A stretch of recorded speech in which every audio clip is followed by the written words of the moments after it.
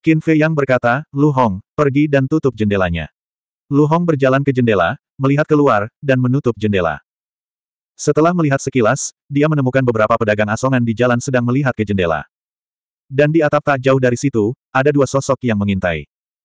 Dia kembali menghadap Qin Fei Yang dan berbisik, orang-orang yang mengawasi kita belum pergi. Abaikan mereka. Qin Fei Yang melambaikan tangannya dan memandang kedua pangeran itu, bertanya, apa yang ingin kamu bicarakan? Pangeran pertama berbisik, kemarin lusa, ketika saya sedang mengobrol dengan leluhur Lin, dia secara tidak sengaja mengatakan bahwa Jia Hei sering keluar sendirian akhir-akhir ini. Itu tidak aneh, kan? Qin Fei Yang mengerutkan kening. Ini adalah pertama kalinya Jia Hei berada di kota Panking. Itu normal baginya untuk berjalan-jalan. Pangeran pertama berkata, kalau begitu, tentu saja tidak ada masalah. Tapi setiap kali dia keluar, dia misterius dan memilih kapan tidak ada orang di sekitarnya. Qin Fei Yang mengangkat alisnya dan bertanya, apakah kamu yakin? Pangeran pertama mengangguk dan berkata, saya yakin. Leluhur Lin melihat bahwa perilakunya agak aneh. Suatu hari, dia pergi mengikutinya dan menemukan bahwa dia benar-benar meninggalkan kota. Meninggalkan kota. Qin Fei yang mengerutkan kening. Jika dia hanya berjalan-jalan di kota, tidak ada salahnya. Namun jika dia keluar kota, memang agak aneh. Karena dia tidak familiar dengan tempat itu, kenapa Jia Hei pergi keluar kota? Pangeran pertama tersenyum dan berkata, hanya itu yang saya tahu. Saya tidak tahu apakah itu berguna bagi Anda. Ini sangat berguna. Terima kasih, Yang Mulia. Qin Fei yang menangkupkan tangannya dan tersenyum. Pangeran pertama berkata, tidak apa-apa. Saya hanya berharap niat baik saya dapat meringankan hubungan kita. Qin Fei yang tersenyum dan berkata, jangan bicara tentang masa lalu. Hari ini, mari berteman dan saling menjaga. Pangeran pertama sangat gembira dan menghela nafas, saudara Qin benar-benar orang yang murah hati. Saya mengagumi Anda. Qin Fei yang tersenyum tipis dan berkata, kemurahan hati yang mulia juga tidak ada bandingannya dengan orang biasa. Setelah merusak pernikahannya dan mempermalukannya di depan semua orang, dia tetap berinisiatif untuk menunjukkan niat baiknya. Perilaku seperti ini bukanlah sesuatu yang bisa dilakukan oleh orang biasa. Setelah berbasa-basi, pangeran pertama dan pangeran ketiga pergi. Qin Fei Yang juga tenggelam dalam pikirannya. Saat itu, penipu itu memasuki Aula Danwang. Saat ini, keberadaan Jia Hei masih menjadi misteri. Mungkinkah Patriark Lin palsu itu adalah Jia Hei yang menyamar? Apakah Jia Hei benar-benar dari Istana Pembantaian Darah? Jika itu masalahnya, siapa orang lainnya? Kepalanya sakit. Masalah ini saling terkait dan rumit. Namun dia tidak dapat menemukan petunjuk penting apa pun. Dia juga tidak tahu bagaimana melanjutkannya dari sana. Dia memandang Fatso dan Lu Hong dan berkata dengan suara rendah, sekarang, tugas utamamu adalah mengawasi Jia Hei. Bagaimana? Dia adalah kaisar pertempuran. Wajah Fatso menjadi pucat. Qin Fei yang tersenyum dan berkata, saya yakin Anda pasti punya jalan. Fatso memutar matanya dan mulai merenung. Saya akan kembali ke kamar saya untuk berkultivasi. Hubungi saya jika Anda butuh sesuatu. Ling Yunfei berkata dan melangkah keluar ruangan. Semula, dia telah menembus Martial Grandmaster Bintang 2 dalam waktu singkat. Namun setelah melihat kekuatan Fan dan Feng Ling Er, dia tahu bahwa itu masih jauh dari cukup.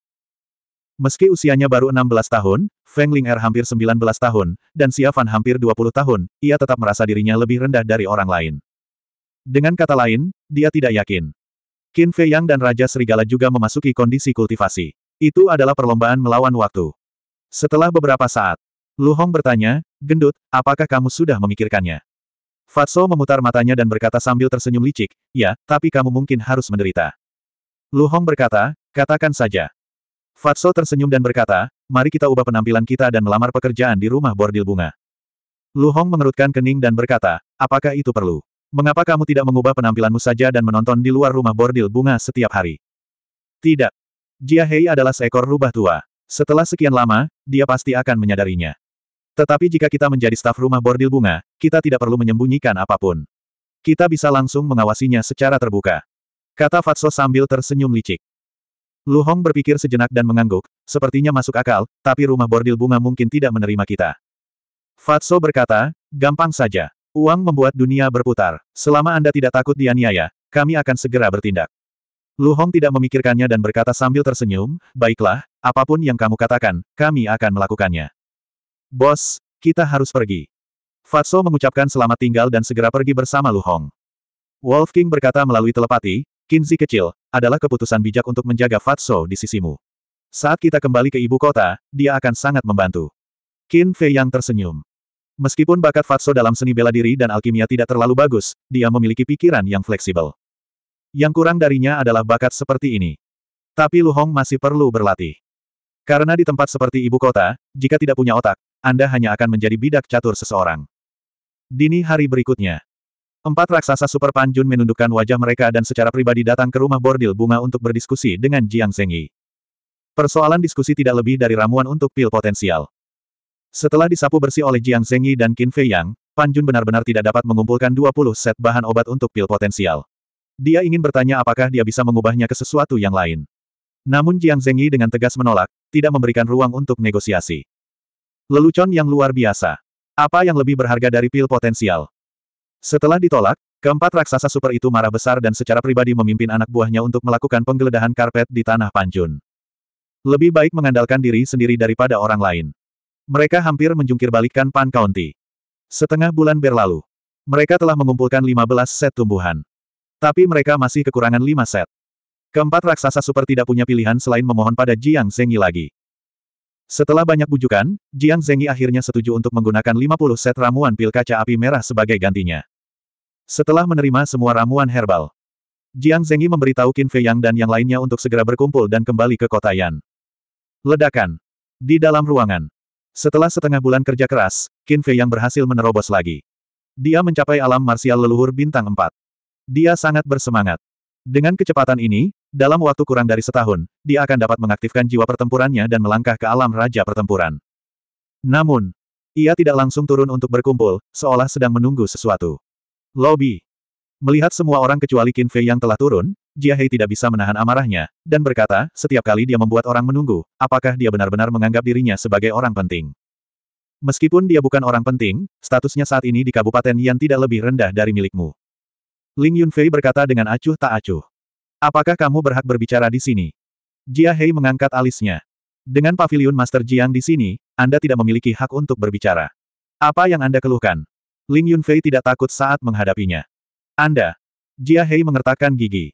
Tuanku, tolong berhenti berdebat. Saya akan membantu Anda memanggil Tuan Mudakin. Ya, ya, ya. Berdebat itu terlalu menyakitkan.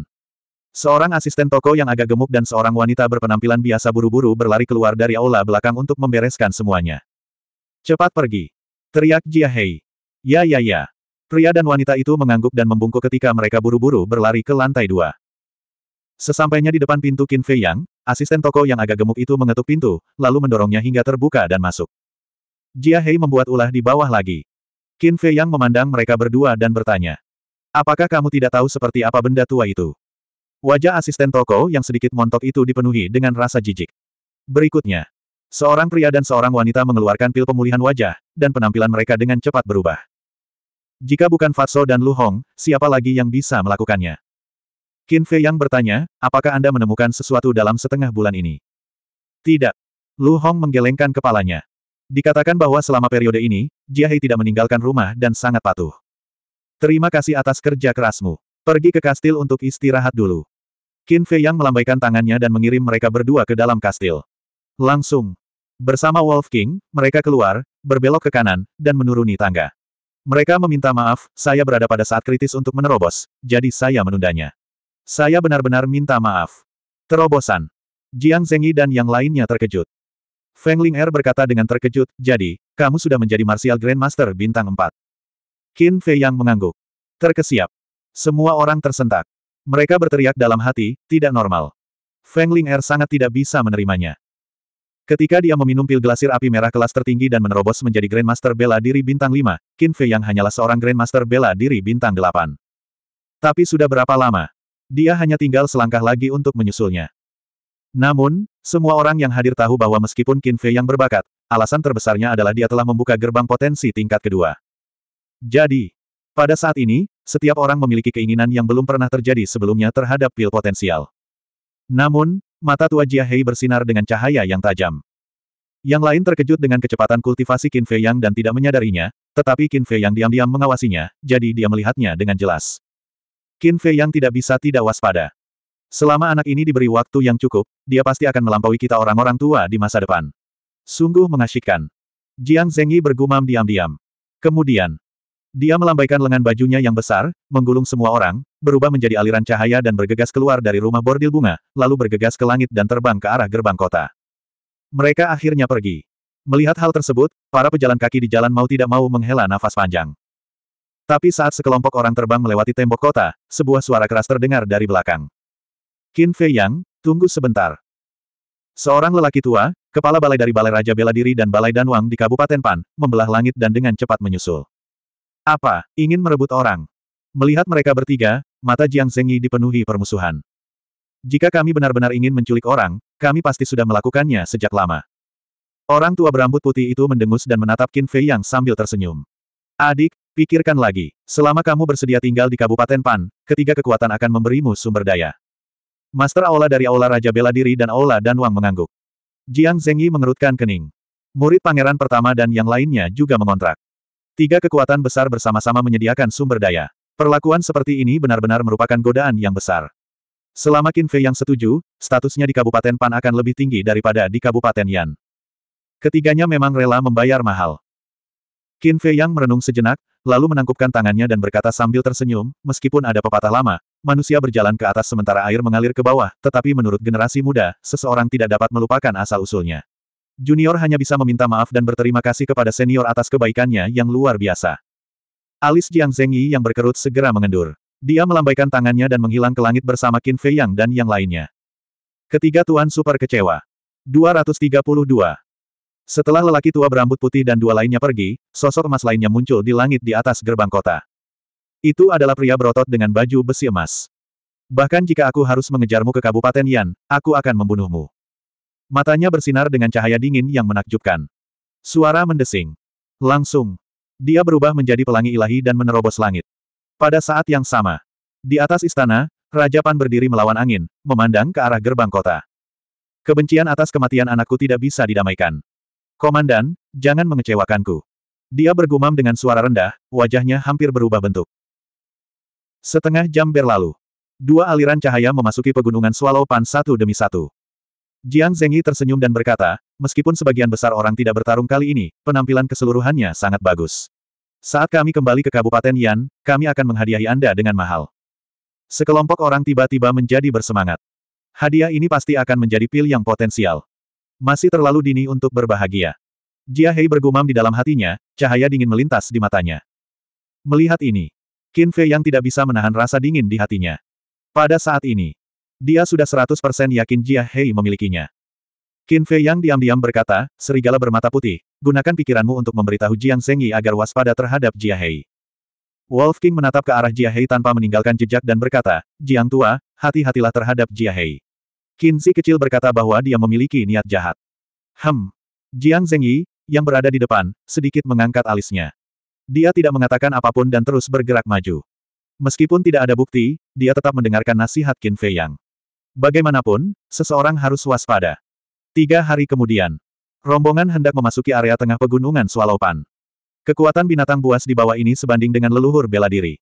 Bahkan ada beberapa binatang buas yang sebanding dengan Raja Perang. Jika Qin Fei Yang dan yang lainnya memasuki pegunungan di bawah sendirian, mereka pasti akan mati. Karena itu, meskipun ada tiga kaisar perang, sekelompok anak muda merasa sedikit gugup.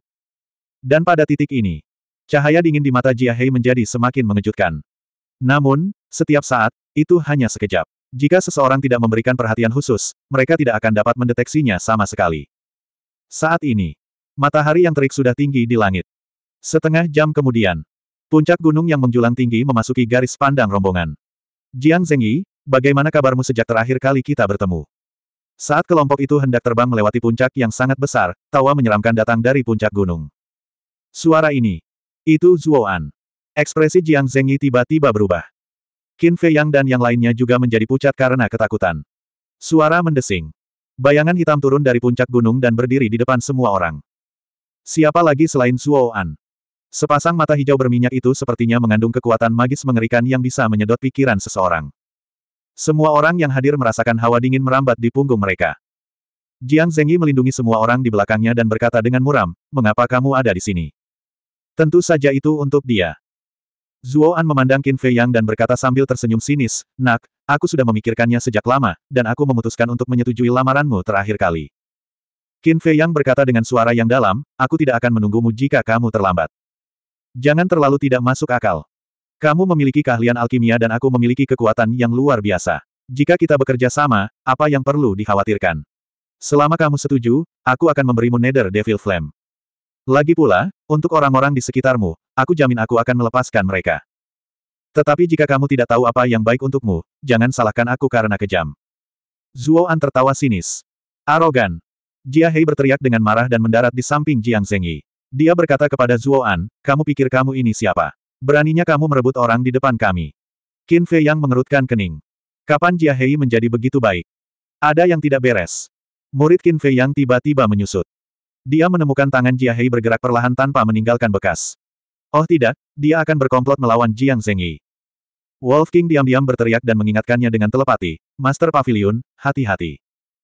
Di saat yang sama, telapak tangan Jia Hei melonjak karena pertempuran Qi dan menamparkan punggung Jiang Zengyi. Senyuman kejam muncul di wajah lamanya. Namun, dia pikir itu sempurna. Namun dia tidak tahu bahwa hal itu telah terungkap. Huh! Jiang Zengyi mendengus dingin. Tangan besarnya terulur seperti kilat. Dia meraih pergelangan tangan Jia Hei dan tiba-tiba menoleh untuk melihat ke arah Jia Hei. Matanya bersinar dengan cahaya dingin yang kuat saat dia berkata, kamu benar-benar memendam niat jahat. Jia Hei tercengang. Senyuman di wajahnya membeku dalam sekejap dan digantikan oleh rasa tidak percaya. Luo Qingzu, Ling Yunfei dan yang lainnya juga terkejut dengan pemandangan mendadak ini. Jia Hei sebenarnya berkomplot melawan Jiang Zengyi. Apa yang sedang terjadi? Pada saat yang sama, di sisi berlawanan, mata Zuan tidak bisa menahan diri untuk tidak tenggelam.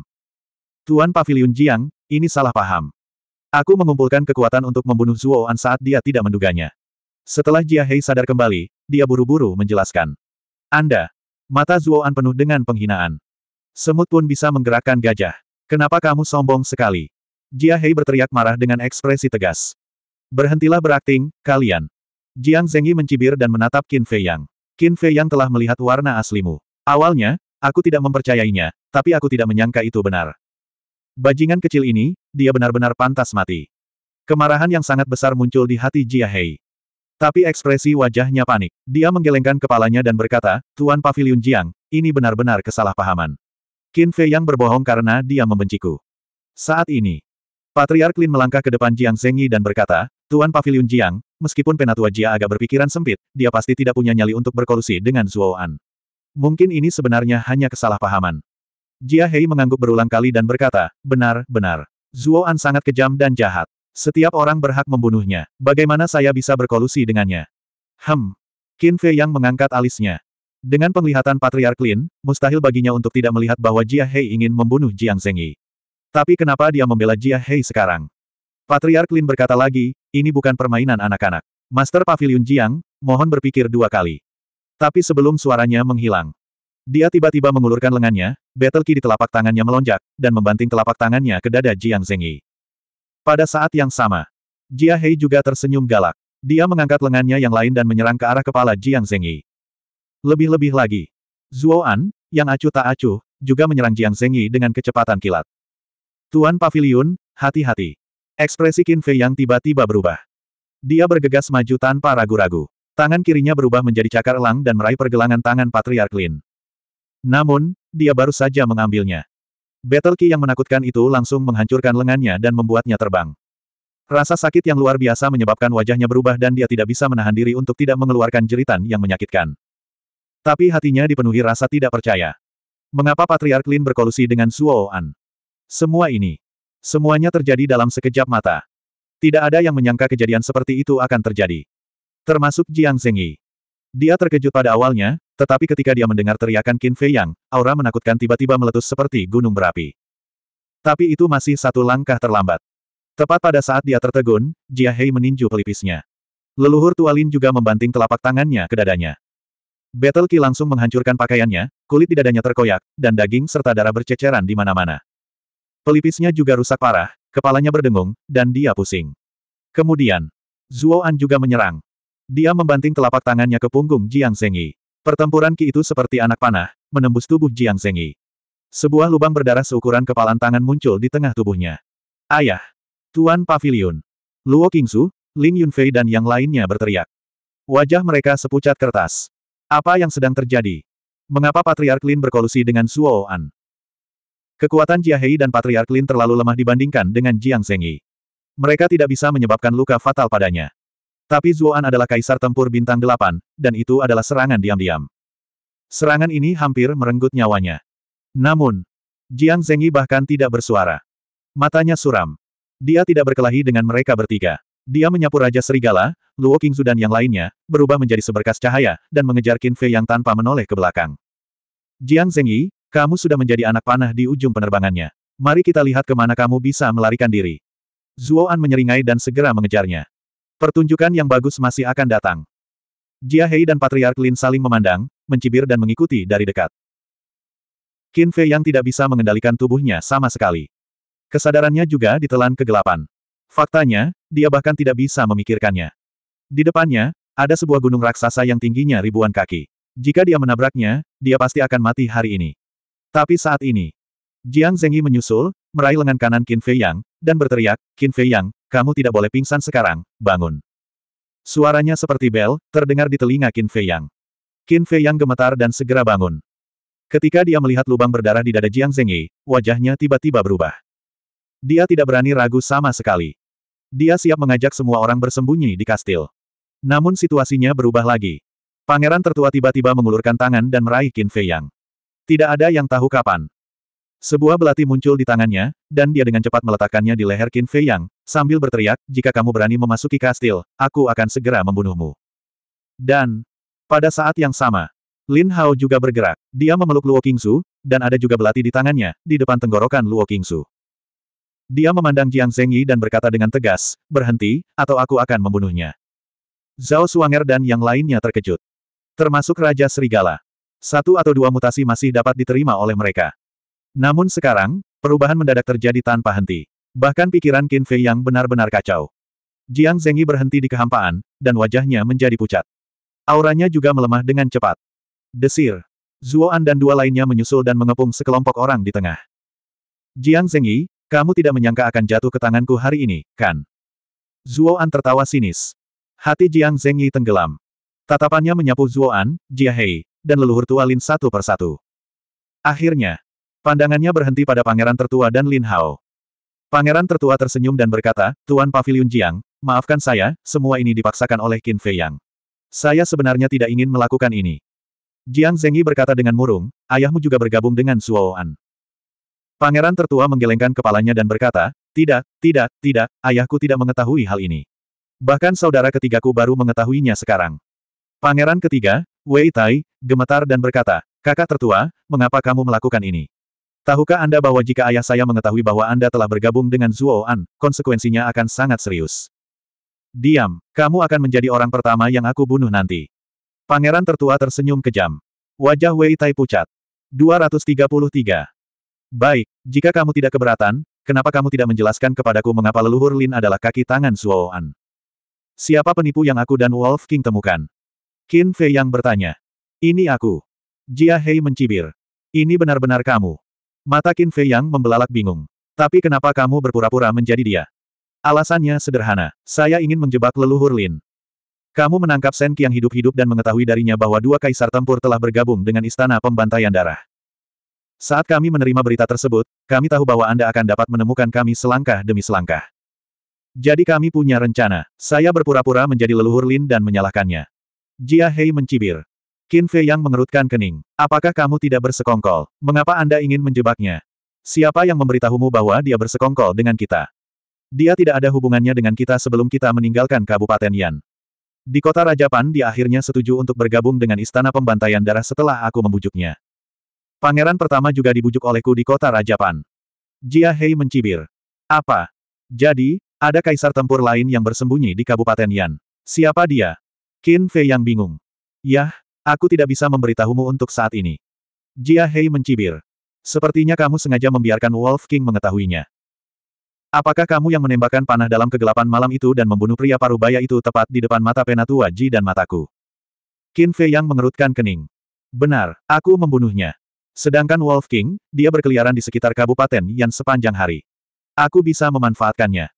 Tetapi saya tidak menyangka Anda akan meminta pengurus Li untuk mengikuti saya dan mengetahui bahwa saya memasuki Aula Danwang. Rencana pembingkaiannya tidak hanya gagal, tetapi juga hampir mengungkap identitas saya. Sejak itu, aku gelisah sepanjang hari, takut kamu akan menangkapku. Harus kuakui, kamu memang pintar. Jia Hei sangat memuji. Pujiannya tulus. Ini adalah pertama kalinya dalam hidupnya dia bertemu dengan seorang pemuda yang begitu menakutkan. Hah! Qin Fei Yang menghela nafas lega. Bahkan tanpa penjelasan Jia Hei, dia sudah menemukan jawabannya. Pada hari kompetisi persahabatan berakhir, putra mahkota pergi menemuinya dan memberitahunya bahwa leluhur Tualin menemukan ada yang tidak beres dengan Jia Hei. Sebenarnya, dia mencoba mengalihkan perhatiannya agar dia mengabaikan leluhur Tualin.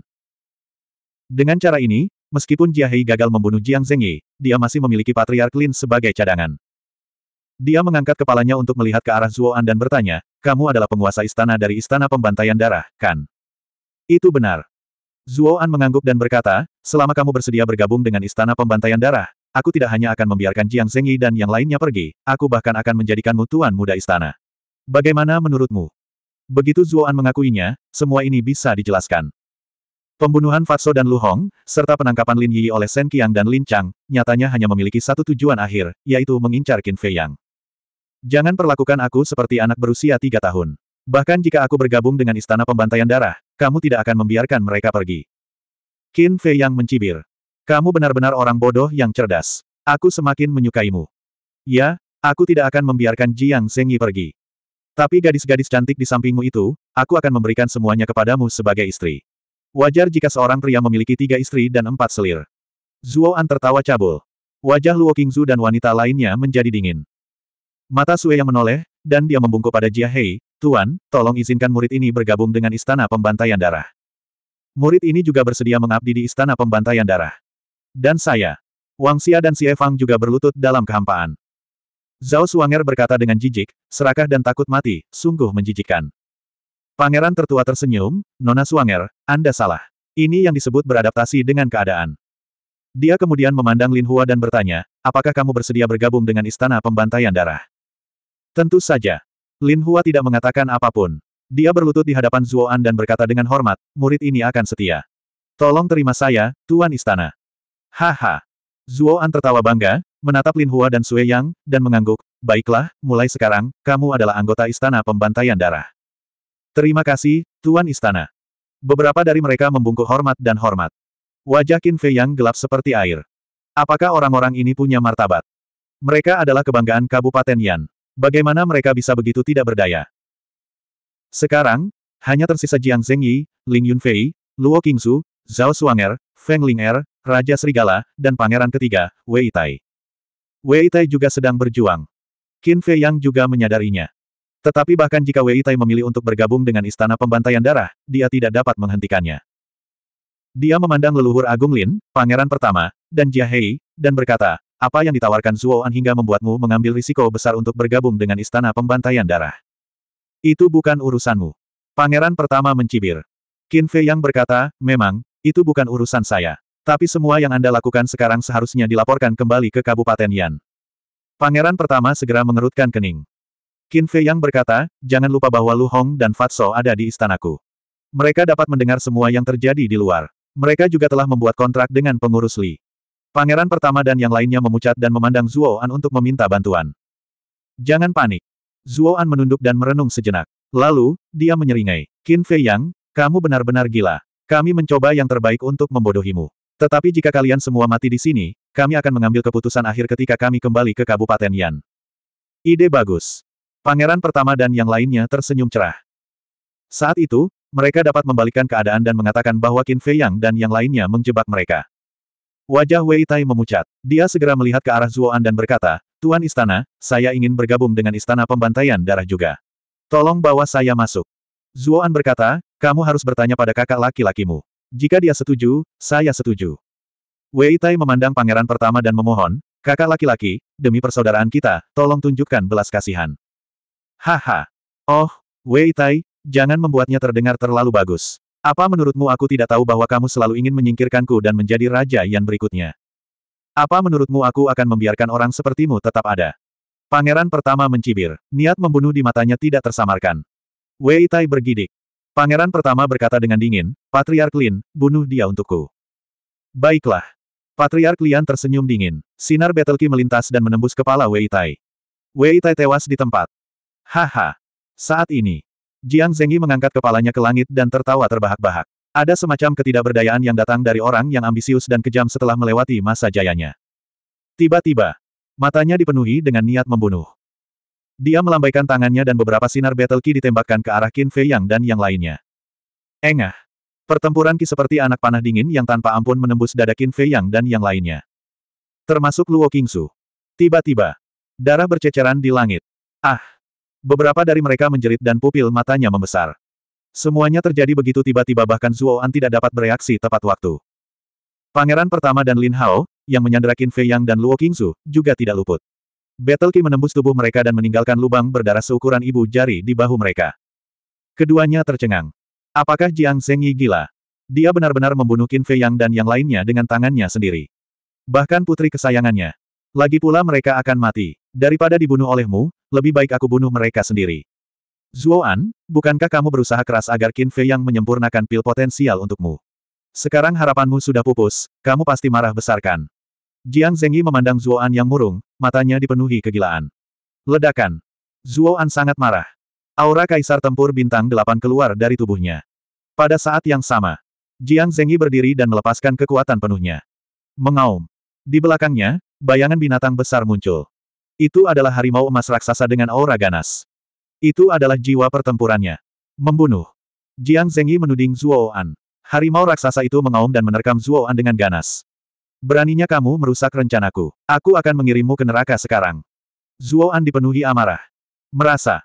Dengan desisan tajam, bayangan binatang muncul di belakangnya. Itu adalah ular piton hitam raksasa.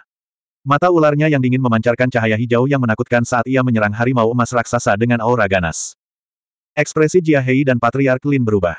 Mereka buru-buru membawa pangeran pertama dan yang lainnya pergi. Ledakan. Kedua jiwa pertempuran saling bertabrakan. Harimau emas raksasa itu meraung dan pingsan. Wajah Jiang Zengyi menjadi pucat saat dia mengeluarkan seteguk darah. Seperti meteorit, dia menembak ke arah pegunungan di bawah bersama tubuh Qin Fei Yang dan yang lainnya. Bersamaan dengan ledakan keras, puncak gunung setinggi beberapa ratus kaki dihancurkan berkeping-keping oleh Jiang Zengyi. Debu mengepul dan menutupi langit. Sebuah kawah raksasa terbentuk di tanah. Jiang Zengyi terbaring di bawah langit, tubuhnya berlumuran darah. Namun, Qin Fei Yang dan yang lainnya terbaring di kehampaan dengan penghalang ki pertempuran emas yang melindungi mereka. Jiang Zengyi berjuang untuk bangun dan memandang Luo Qingsu. Senyuman ramah muncul di wajahnya yang berlumuran darah saat dia berbisik, Anakku, kamu harus hidup dengan baik. Kemudian, dia merobek pakaian di tubuhnya dan menggunakan darahnya untuk menuliskan kata-kata mengejutkan di atasnya. Dia melepas tas Qiankunnya dan memasukkan pakaian itu ke dalamnya. Lalu, dia memasukkan tas Qiankun ke dalam pelukan Qin Fei Yang. Kemudian, dia melambaikan tangannya dan Qin Fei yang serta yang lainnya jatuh ke dalam lubang yang dalam. Dia melambaikan lengan bajunya lagi, dan beberapa kerikil terbang dan menumpuk di sekitar Qin Fei Yang dan yang lainnya. Kemudian, tanah berguling dan dengan cepat mengubur Qin Fei Yang dan yang lainnya. Asap tebal menghalangi pandangan Zuoan, jadi dia tidak melihat semua ini. Dalam sekejap mata, setelah melakukan semua ini, Jiang Zengyi berubah menjadi aliran cahaya dan keluar dari debu sendirian. Dia meraung dengan marah, Zuoan, Jia Hei, Patriark Lin, Bahkan jika aku mati hari ini, aku akan membunuhmu dan menguburmu bersama King Su dan yang lainnya. Dia mengangkat tangannya dan battle ki emas mengalir menuju Zuoan dan yang lainnya seperti arus deras. Saat ini, langit diwarnai keemasan. Bahkan kalian berempat, anjing tua, tidak bisa berbuat apa-apa padaku, apalagi kamu sendiri. Zuoan tersenyum menghina. Dia bergegas dan bertarung dengan Jiang Zengyi dengan gila-gilaan. Untuk sesaat, aura pembunuh di tempat ini melonjak ke langit dan langit menjadi gelap.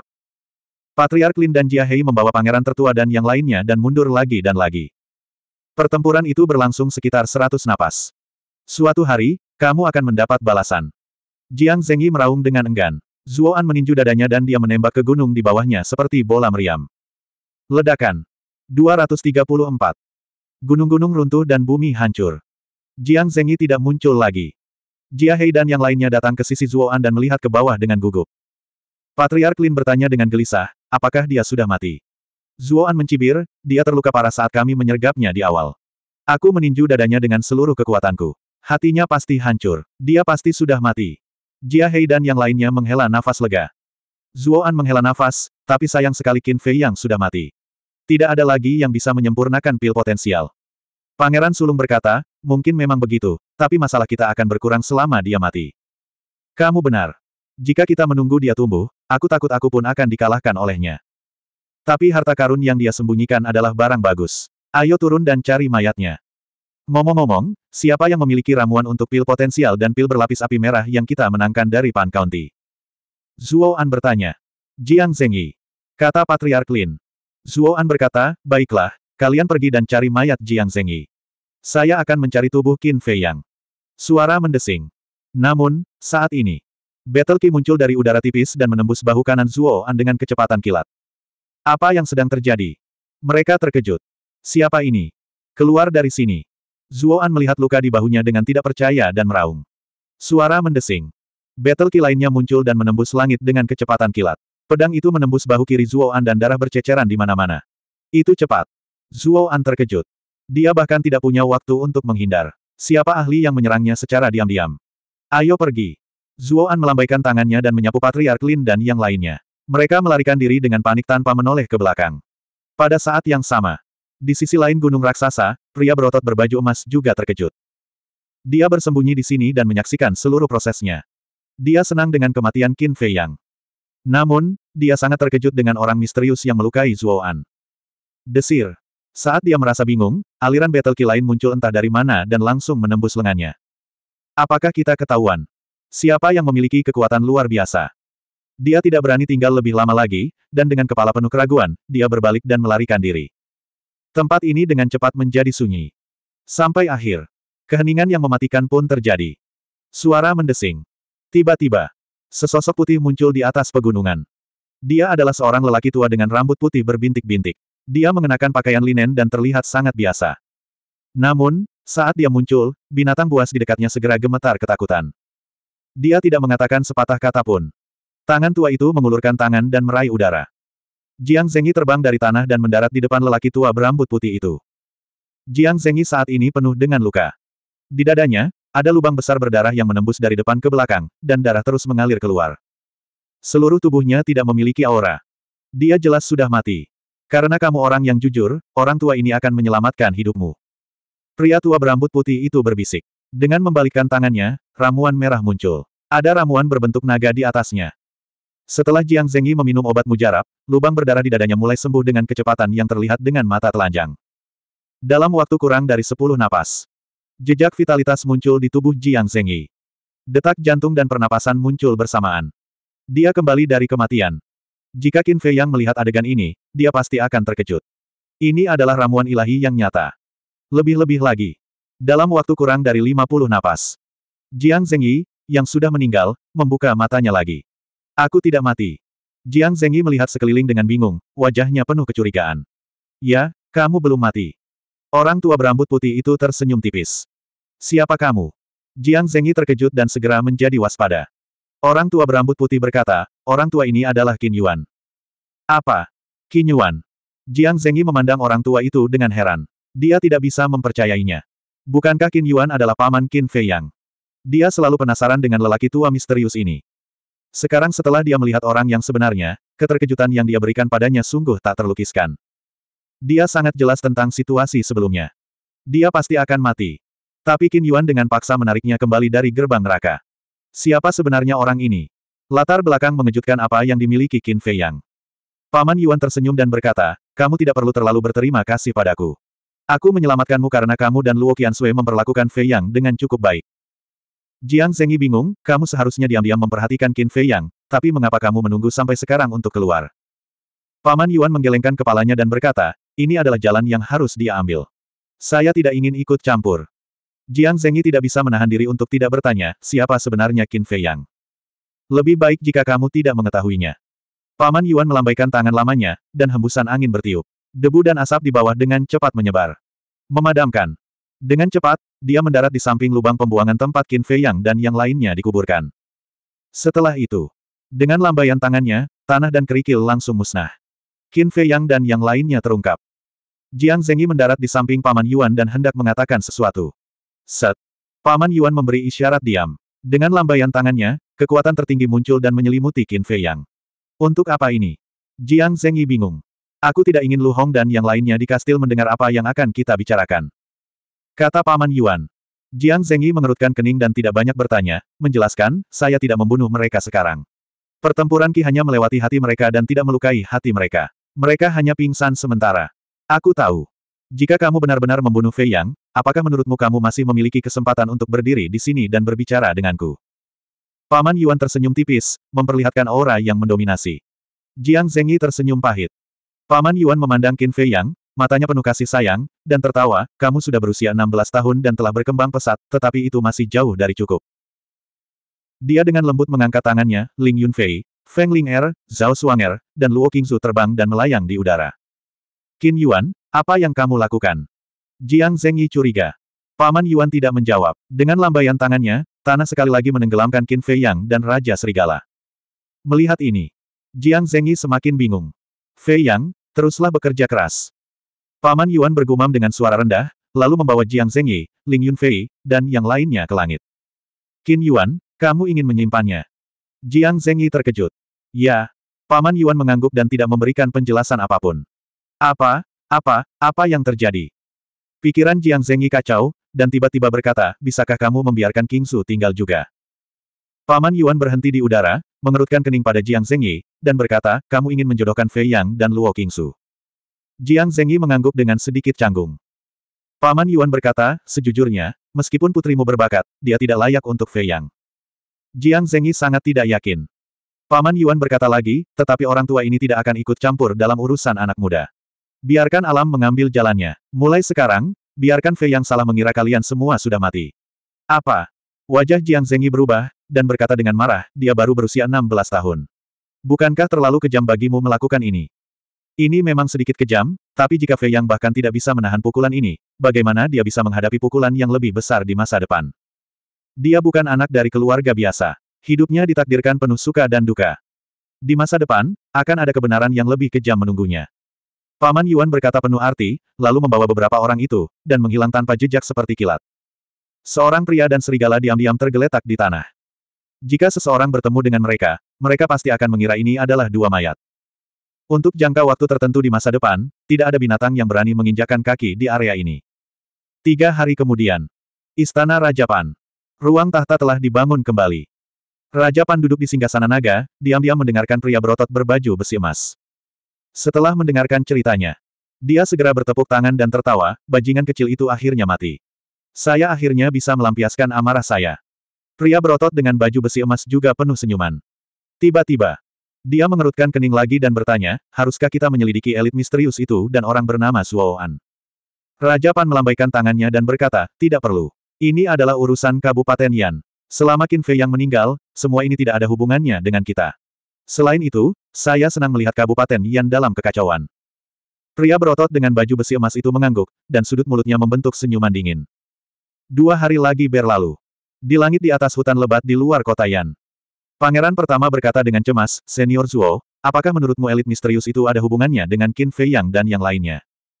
Zuo An merenung sejenak dan menggelengkan kepalanya, menurut tebakanku, orang itu mungkin baru saja lewat.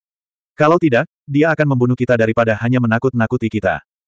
Itu benar. Pangeran pertama mengangguk. Leluhur Patriark Lin mengerutkan kening dan berkata, jika Jiang Zengyi meninggal seperti ini, pemerintah negara bagian pasti akan mengirim orang untuk menyelidikinya. Saya khawatir kami tidak akan dapat menjelaskannya saat itu. Itu mudah. Zuoan mengeluarkan pil ilusi dan berubah menjadi penampilan Jiang Zengyi, saya khawatir tidak bisa memasuki kota Yan. Sekarang, saya bisa tinggal secara terbuka di kota Yan. Besar. Dengan cara ini, bahkan jika Fatso dan Lu Hong telah menyebarkan kebenaran ke kota Yan, kita dapat dengan mudah membalas mereka. Pangeran pertama tertawa. Bukan itu intinya. Intinya adalah paviliun harta karun di Kabupaten Yan akan berada di bawah kendaliku di masa depan. Zuo An juga tertawa. Ini trik yang bagus, tapi kamu harus berhati-hati di depan Luo Qiansui. Jangan mengekspos dirimu sendiri. Patriark leluhur Lin memperingatkan. Ayo kita singkirkan Luo Qiansui. Mata Jia Hei bersinar dengan niat membunuh. Zuo An menggelengkan kepalanya, kita tidak bisa membunuhnya. Jika terjadi kesalahan, kita semua akan tamat. Sebenarnya, jangan khawatir. Luo Qiansui dan Jiang Zengyi tidak memiliki hubungan yang baik. Saya tidak akan melakukannya menemuinya di masa depan. Kalau begitu ayo pergi. Patriark leluhur Lin tersenyum. Ayo pergi, dalam waktu kurang dari 10 tahun, Kabupaten Yan akan berada di bawah kendali kita, haha. Zuoan tertawa terbahak-bahak saat dia memimpin anak buahnya ke kota Yan dengan berani. Segera, sebuah berita sensasional menyebar seperti api di kota Yan. Qin Fei Yang, Luo Qingsu, Zhao Suanger, Feng Ling Er, Ling Yunfei, dan pangeran ketiga Wei Tai berkolusi satu sama lain untuk mencuri ramuan dari pil potensial dan pil kaca api merah. Jiang Zengyi telah mengeksekusi mereka di tempat di pegunungan Yanpan. Namun, 235.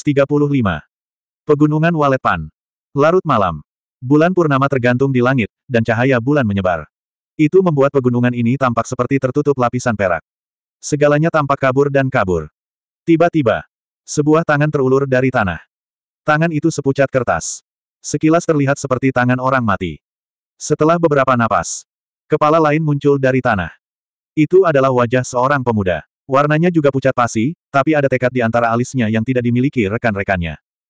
Jika seseorang ada di sini, mereka pasti akan mengira itu adalah zombie. Itu adalah Qin Fei Yang. Dia menghirup udara segar dalam-dalam. Pada saat yang sama, melalui sinar bulan, dia mengamati sekelilingnya, matanya penuh dengan keterkejutan. Aku sebenarnya belum mati. Setelah sekian lama, dia bergumam pada dirinya sendiri dan merangkak keluar dari tanah. Tanpa tangan kirinya, sangat sulit baginya untuk merangkak. Ini masih pegunungan Swallow Pan. Tapi kenapa aku belum mati? Qin Fei Yang mengerutkan alisnya dan melihat ke dalam tubuhnya. Jadi begitulah. Jiang Zengyi tidak membunuhku. Ketika dia melihat luka di sebelah jantungnya, dia tiba-tiba tersadar. Itu tidak benar. Jiang Zengyi tidak membunuhku, jadi dia pasti tidak membunuh Wolf King dan yang lainnya. Dia segar kembali dan buru-buru menelan pil penyembuhan. Kemudian, dia menggunakan ki aslinya untuk membuang tanah di bawah kakinya. Wolf King dengan cepat memasuki garis pandangnya. Serigala bermata putih. Dia berteriak dan berjongkok di samping Wolf King. Dia mengulurkan tangan dan menekan tangannya di perut bagian bawah. Benar saja, ada detak jantung. Setelah menyeret Raja Serigala keluar dan memberinya pil penyembuh kelas atas, Qin Fei yang mulai menggali lagi. Namun setelah setengah jam, dia masih tidak dapat menemukan Ling Yunfei dan yang lainnya. Di mana mereka? Dia duduk di tanah, dan sebuah pikiran menakutkan muncul di benaknya. Mungkinkah mereka sudah hancur berkeping-keping? Dia meraih Wolf King dan memasuki kastil. Bos, kamu baik-baik saja. Apakah kamu tahu bagaimana kita menghabiskan lima hari terakhir? Fatso dan Lu Hong segera mengelilinginya dan memandangnya dengan prihatin.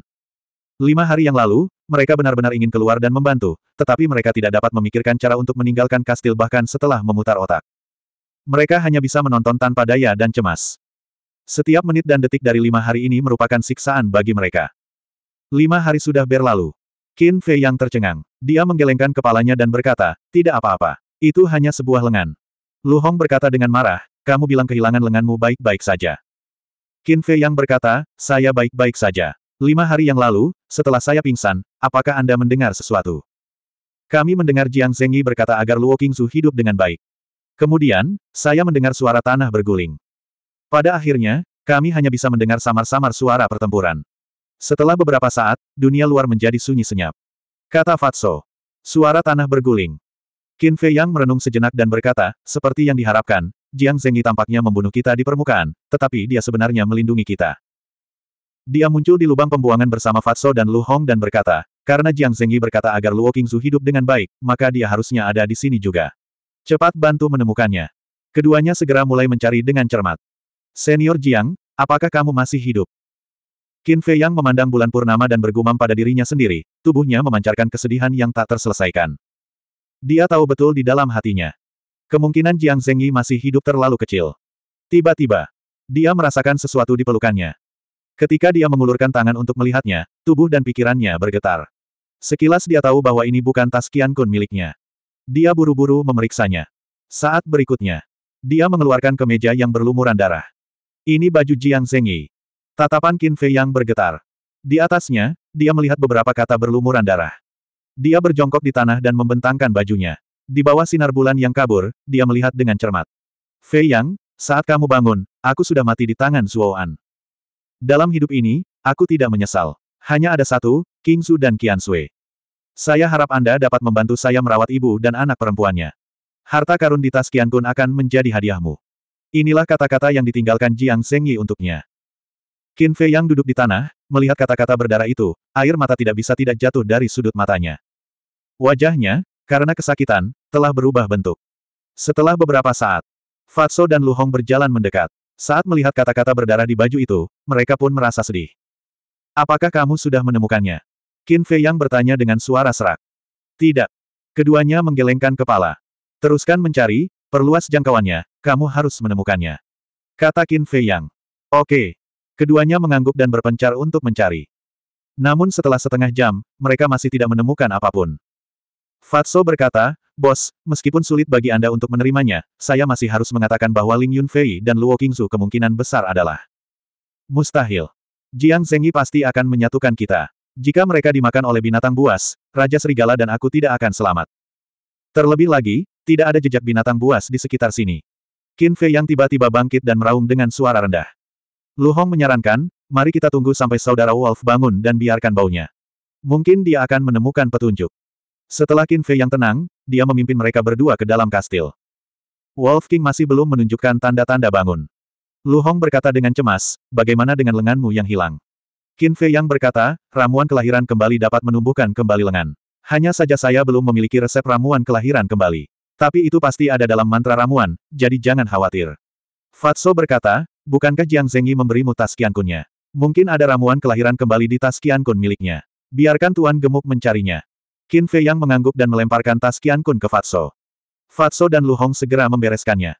Qin Fei Yang melihat pakaian berlumuran darah di tangannya. Niat membunuh yang intens di dalam hatinya seperti aliran deras yang dengan ganas menyerang rasionalitasnya. Untungnya, kemauannya cukup kuat. Jika itu orang lain, mereka pasti sudah kebingungan sejak lama. Aneh, kenapa hanya ada beberapa ramuan tingkat rendah di tas Qian Kun? Fatso tiba-tiba bertanya dengan bingung. Itu normal. Meskipun Jiang Zengyi adalah kepala pavilion master di Kabupaten Yan dan mengendalikan pavilion harta karun berharga di semua kota, dia adalah orang yang jujur dan tidak akan mengisi kantongnya sendiri. Aku khawatir ramuan tingkat tinggi semuanya ada di brankas pavilion harta karun berharga. Kata Qin Fei Yang. Itu benar. Fatso mengangguk dan melanjutkan, namun, ramuan potensi eliksir yang disapu Jiang Zengyi di Kabupaten Pan dan ramuan yang memenangkan kompetisi semuanya ada di sana. Seharusnya ada beberapa ratus juta koin emas. Qin Fei yang tidak terlalu peduli dengan tanaman obat dan koin emas saat ini. Sebaliknya, dia sangat mengkhawatirkan keselamatan Ling Yunfei dan yang lainnya. Fatso menyimpan tas Qian Kun dan berkata, Lu Hong dan aku sudah merekam percakapan Jia Hei dan yang lainnya. Haruskah kita menghubungi Yan Nanshan dan yang lainnya sekarang? Catatan. Mata Qin Fei yang berbinar. Fatso terkekeh. Setelah mengikutimu begitu lama, kami mengetahui akal sehat ini. Bagus sekali. Qin Fei Yang menepuk pundaknya dan mengeluarkan kristal gambar, memasukkan ki sejati ke dalamnya. Seketika, image kristal bersinar terang. Pada saat yang sama, Istana Raja bela diri di Kabupaten Yan. Di halaman Yan Nanshan. Hall Master, bahkan jika kamu memukulku sampai mati, aku tidak percaya Qin Fei Yang akan melakukan hal seperti itu. Pasti ada sesuatu yang mencurigakan tentang ini. Suara marah Elder Wan datang dari loteng. Di depan meja teh di ruang tamu loteng. Yan Nanshan dan wanita cantik itu sedang duduk di kursi, wajah mereka muram. Penatua Wan sedang mondar-mandir di samping meja teh, wajah lamanya penuh amarah. Yan Nanshan berkata dengan marah, Wan tua, bisakah kamu berhenti sebentar? Bagaimana aku bisa berhenti? Kamu sebenarnya mengatakan bahwa Qin Fei Yang dan yang lainnya ingin meminum ramuan itu untuk diri mereka sendiri. Apakah itu mungkin? Kata Penatua Wan dengan marah. Kami juga tidak mempercayainya, tapi Jiang Zengyi sendiri yang mengatakannya. Jiang Zengyi selalu tidak memihak. Karena dia berkata demikian, maka itu pasti benar. Yan Nanshan dan wanita cantik itu berkata satu demi satu. Berdengung. Pada saat ini, image kristal milik Elder One tiba-tiba bereaksi. Siapa yang mengirim pesan saat ini? Tidakkah kamu tahu kalau aku sangat kesal sekarang?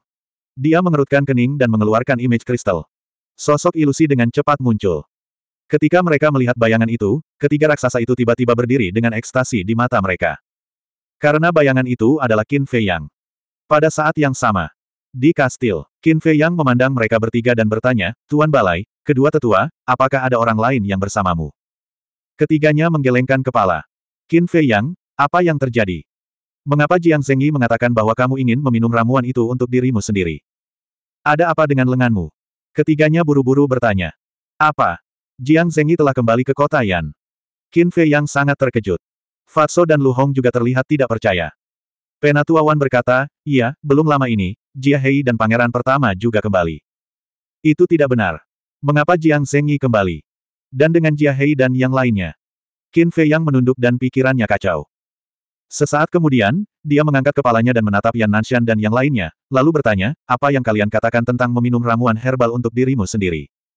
Penatua Wan berkata, Jiang Zengyi lah yang mengatakannya. Dia mengatakan bahwa Anda dan Luo Qingzu ingin menggelapkan ramuan obat yang kita menangkan kali ini, tetapi dia menemukannya. Jadi, dia mengutamakan kebenaran di atas keluarga dan membunuh Anda dan Luo Qingzu.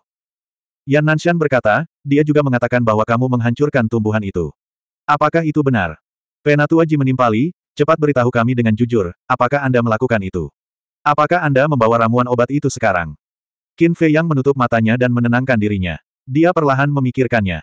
Yan Nanshan dan yang lainnya juga tidak mendesaknya. Beberapa lusin napas kemudian. Tubuh Qin Fei Yang bergetar dan matanya terbuka. Dua cahaya cemerlang muncul dari matanya. Dia memandang mereka bertiga sekali lagi dan mengangguk. Ramuan itu memang ada bersamaku. Apa? Mereka bertiga terkejut dan terpuruk di kursinya. Jadi, Jiang Zengyi mengatakan yang sebenarnya.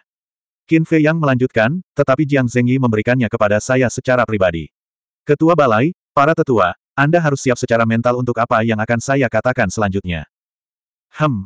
Mereka bertiga bertukar pandang, mata mereka dipenuhi keraguan. Yan Nanshan berkata, lanjutkan. Qin Fei Yang berkata, Jiang Zengyi yang asli telah terbunuh.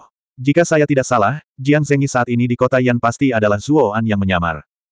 Itu karena kekuatan Zuo An mirip dengan Jiang Zengyi. Hanya dengan meniru dia dia tidak akan ketahuan. Mereka bertiga berdiri serempak dan memandang Qin Fei Yang dengan tidak percaya. Seperti ini.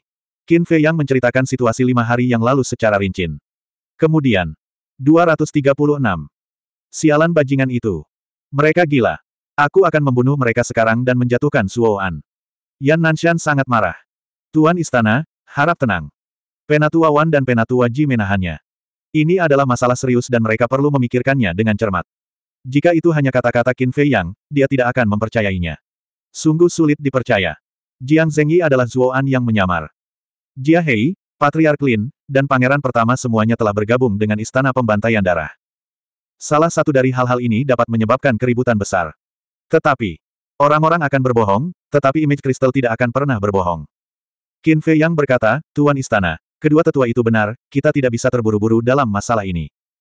Yan Nanshan berkata dengan marah, lalu apa yang harus kita lakukan? Apakah kita hanya akan melihat mereka melakukan apa pun yang mereka inginkan di kota Yan? Saya curiga mereka sedang merencanakan sesuatu yang besar. Jika kita menyerang mereka sekarang, kita akan memperingatkan mereka. Yang paling penting, ada kaisar tempur yang bersembunyi di kegelapan. Jika kita tidak menemukannya, akan ada masalah yang tak ada habisnya. Qin Fei Yang berkata dengan sungguh-sungguh.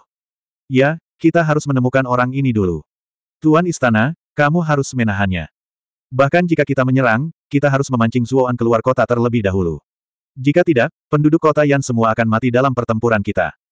Kata Penatua Wan dan Penatua Nan. Jiang Zengyi telah menjadi orang benar sepanjang hidupnya, tapi dia disakiti oleh para bajingan ini. Sungguh tercela. Yan Nanshan menangis. Di antara para pemimpin kota Yan, Yan Nanshan memiliki hubungan terbaik dengan Jiang Zengyi. Ketika dia mendengar kabar buruk tentang Jiang Zengyi, dia tidak bisa mengendalikan amarahnya. Untungnya, Penatua Ji dan Penatua Li ada di sana untuk membujuknya, sehingga dia bisa segera tenang. Fiuh. Menarik napas dalam-dalam beberapa kali, Yan Nanshan memandang Qin Fei Yang dan berkata, jangan pergi ke mana-mana, aku akan datang dan menjemputmu sekarang. Tidak. Qin Fei Yang melambaikan tangannya dan berkata, Tuan Istana, kamu tidak bisa meninggalkan kota Yan. Jika tidak, Zuo An akan mengambil kesempatan untuk menyerang balai kekaisaran bela diri. Yan Nanshan mengerutkan kening dan berkata, kalau begitu, haruskah saya mengirim Penatua Wan dan Penatua Ji? Itu juga tidak akan berhasil. Binatang buas di wilayah tengah terlalu kuat. Saat itu, bahkan Jiang Zengyi pun gemetar ketakutan. Terlalu berbahaya bagi kedua tetua untuk datang ke sini. Qin Fei yang menggelengkan kepalanya. Lalu apa yang harus kita lakukan? Yan Nanshan dan yang lainnya mengerutkan kening. Jangan khawatir, tetua. Saya yakin saya bisa kembali ke Kabupaten Yan dengan selamat. Ingat, jangan tanya pangeran pertama dan yang lainnya. Pangeran pertama dan yang lainnya baru saja bergabung dengan Istana Pembantaian Darah, jadi mereka pasti tidak tahu siapa kaisar perang lainnya. Kata Qin Fei Yang.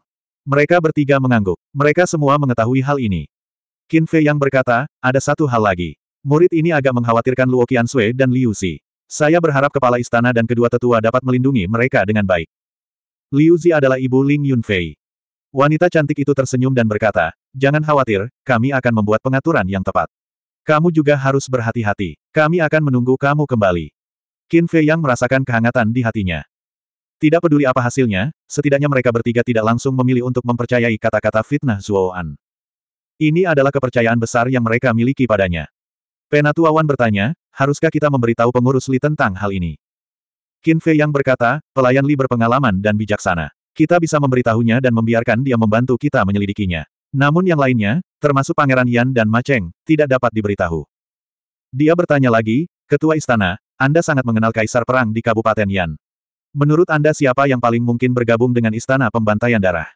Setelah hening beberapa saat, Yan Nanshan menggelengkan kepalanya dan berkata, ini bukan permainan anak-anak. Saya tidak berani menebak-nebak secara liar agar tidak mengganggu penilaian semua orang. Qin Fei yang mengangguk. Ini adalah sikap yang sangat bertanggung jawab.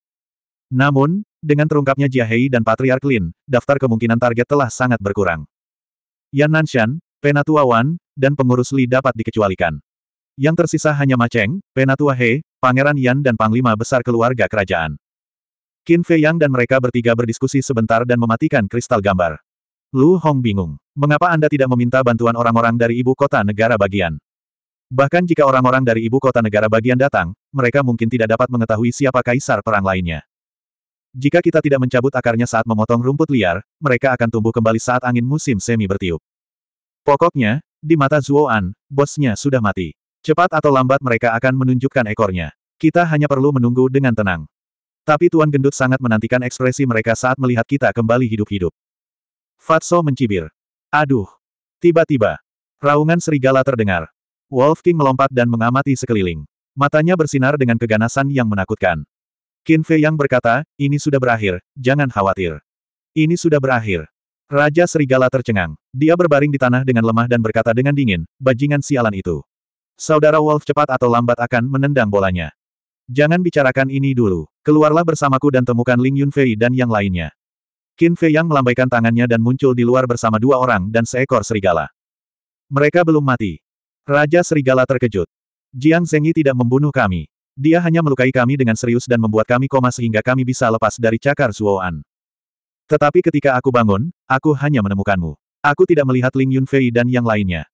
Qin Fei Yang tampak khawatir. Wolf King tidak bertanya lagi dan mengendus dengan hati-hati. Sesaat kemudian, ia memasuki lubang pembuangan dan matanya berbinar. Ada bau darah di sini. Seharusnya di sini. Tidak. Kami sudah mencarinya. Kata Fatso dan Lu Hong. Qin Fei yang juga berkata, kami telah dimakamkan di sini selama lima hari. Wolf King mengendus lagi dan menggelengkan kepalanya. Bau mereka sangat samar, hampir mustahil untuk dideteksi. Hanya ada dua kemungkinan, entah mereka sudah pergi atau sudah mati. Kiri. Tidak mungkin, karena mereka tidak bisa meninggalkan kita sendirian. Bahkan lebih mustahil lagi kalau mereka mati. Jika mereka mati, setidaknya jenazah mereka masih di sini. Terlebih lagi, Fatso dan Lu Hong tidak mendengar apa pun di kastil. Qin Fei yang mengerutkan kening dan merasa sangat kesal. Itu aneh. Mata Wolf King penuh keraguan. Lima hari telah berlalu, dan sebagian besar baunya telah hilang. Tidaklah realistis untuk menemukan petunjuk apa pun. Lu Hong berkata, mengapa kita tidak berpisah lagi? Fatso berkata, Bos, jika kami tidak dapat menemukannya, Tuan Gendut, saya harap Anda dapat menerima kenyataan ini. Qin Fei yang mengangguk. Perlahan-lahan. Langit putih, dan matahari pagi berangsur-angsur terbit. Tiga pria dan satu serigala membalikkan area itu. Pada akhirnya, mereka tetap tidak menemukan apa pun. Qin Fei yang berdiri di atas pohon besar, melihat ke bawah, matanya mati. Fatso, Lu Hong, dan Wolf King berdiri di bawah, memandang Qin Fei yang dengan wajah khawatir. Meski banyak keraguan, hanya ada satu penjelasan jika mereka tidak dapat menemukan siapa pun atau jenazahnya. Ling Yunfei dan yang lainnya mungkin sudah mati. Setelah waktu yang tidak diketahui. Qin Fei yang melompat turun dari pohon dan mendarat dengan mantap di tanah. Tidak ada kemarahan atau niat membunuh di wajahnya, atau kata-kata heroik apa pun. Dia tampak sangat tenang. Tapi semakin tenang dia, semakin khawatir Fatso, Lu Hong, dan Wolf King. Bos, kamu baik-baik saja. Fatso bertanya dengan hati-hati. Saya baik-baik saja. Qin Fei yang menggelengkan kepalanya. Nada suaranya juga begitu tenang, tanpa sedikit pun rasa sedih. Apakah kamu benar-benar baik-baik saja? Tanya Fatso. Aku baik-baik saja. Qin Fei yang menggelengkan kepalanya tanpa daya, dan berkata sambil tersenyum tipis, ayo pergi. Setelah itu. Jadi, dia memimpin dan berjalan maju. Fatso buru-buru berkata, Bos, kamu. Lu Hong mengulurkan tangan untuk menghentikannya. Jangan tanya. Jika kamu terus bertanya, penyamaran wajahnya akan terkoyak olehmu. Karena dia ingin berpura-pura bebas dan santai, sebaiknya kita bantu dia. Mungkin ini akan membuatnya merasa lebih baik. Kata Lu Hong. Fatso dan Wolf King mengangguk. Dua orang dan satu serigala mengikuti dengan diam-diam. Mengaum. Kicauan. Tidak lama kemudian, mereka sampai di lereng bukit kecil. Di depan mereka ada hutan primitif yang tak ada habisnya. Raungan berbagai binatang buas memenuhi setiap tempat, menyebabkan orang terintimidasi pada pandangan pertama. Kalian tunggu di sini. Kata Qin Fei Yang tanpa menoleh ke belakang. Kemudian, dia bergegas ke hutan liar. Mengaum. Seekor binatang berbentuk macan tutul bergegas keluar, membuka mulutnya yang berdarah, memperlihatkan taring putihnya, dan menerkam ke arah Qin Fei Yang. Tinju pembunuh guntur bergegas. Qin Fei yang meraung dan mengirim binatang buas itu terbang dengan sebuah pukulan. Retakan. Binatang itu mematahkan pohon besar setebal paha dan menabrak batu biru yang keras, mati di tempat. Qin Fei yang menggunakan langkah asap bergeser, seperti Tyrannosaurus berbentuk manusia, dia bergegas ke kedalaman hutan. Segala jenis binatang menerkam. Lebih-lebih lagi. Mereka pada dasarnya adalah binatang tingkat marsial leluhur. Wajah Qin Fei yang dingin saat dia bertarung dengan gila-gilaan dengan mereka. Segala jenis keterampilan bela diri yang sempurna dilakukan dengan sempurna. Ki sejati, melintasi langit. Darah, mewarnai tanah menjadi merah. Fatso menghela nafas, bos pasti merasa sangat tidak nyaman. Lu Hong berkata, sepertinya tidak ada binatang setingkat Raja Perang di dekatnya, biarkan dia melampiaskannya. Binatang buas tingkat Raja Perang telah ketakutan sampai-sampai melarikan diri sejak lima hari yang lalu. Jadi, secara relatif, tempat ini masih sangat aman. Seperti itu. Qin Fei yang bertarung sampai tengah hari. Seluruh tubuhnya penuh luka dan berlumuran darah. Bang!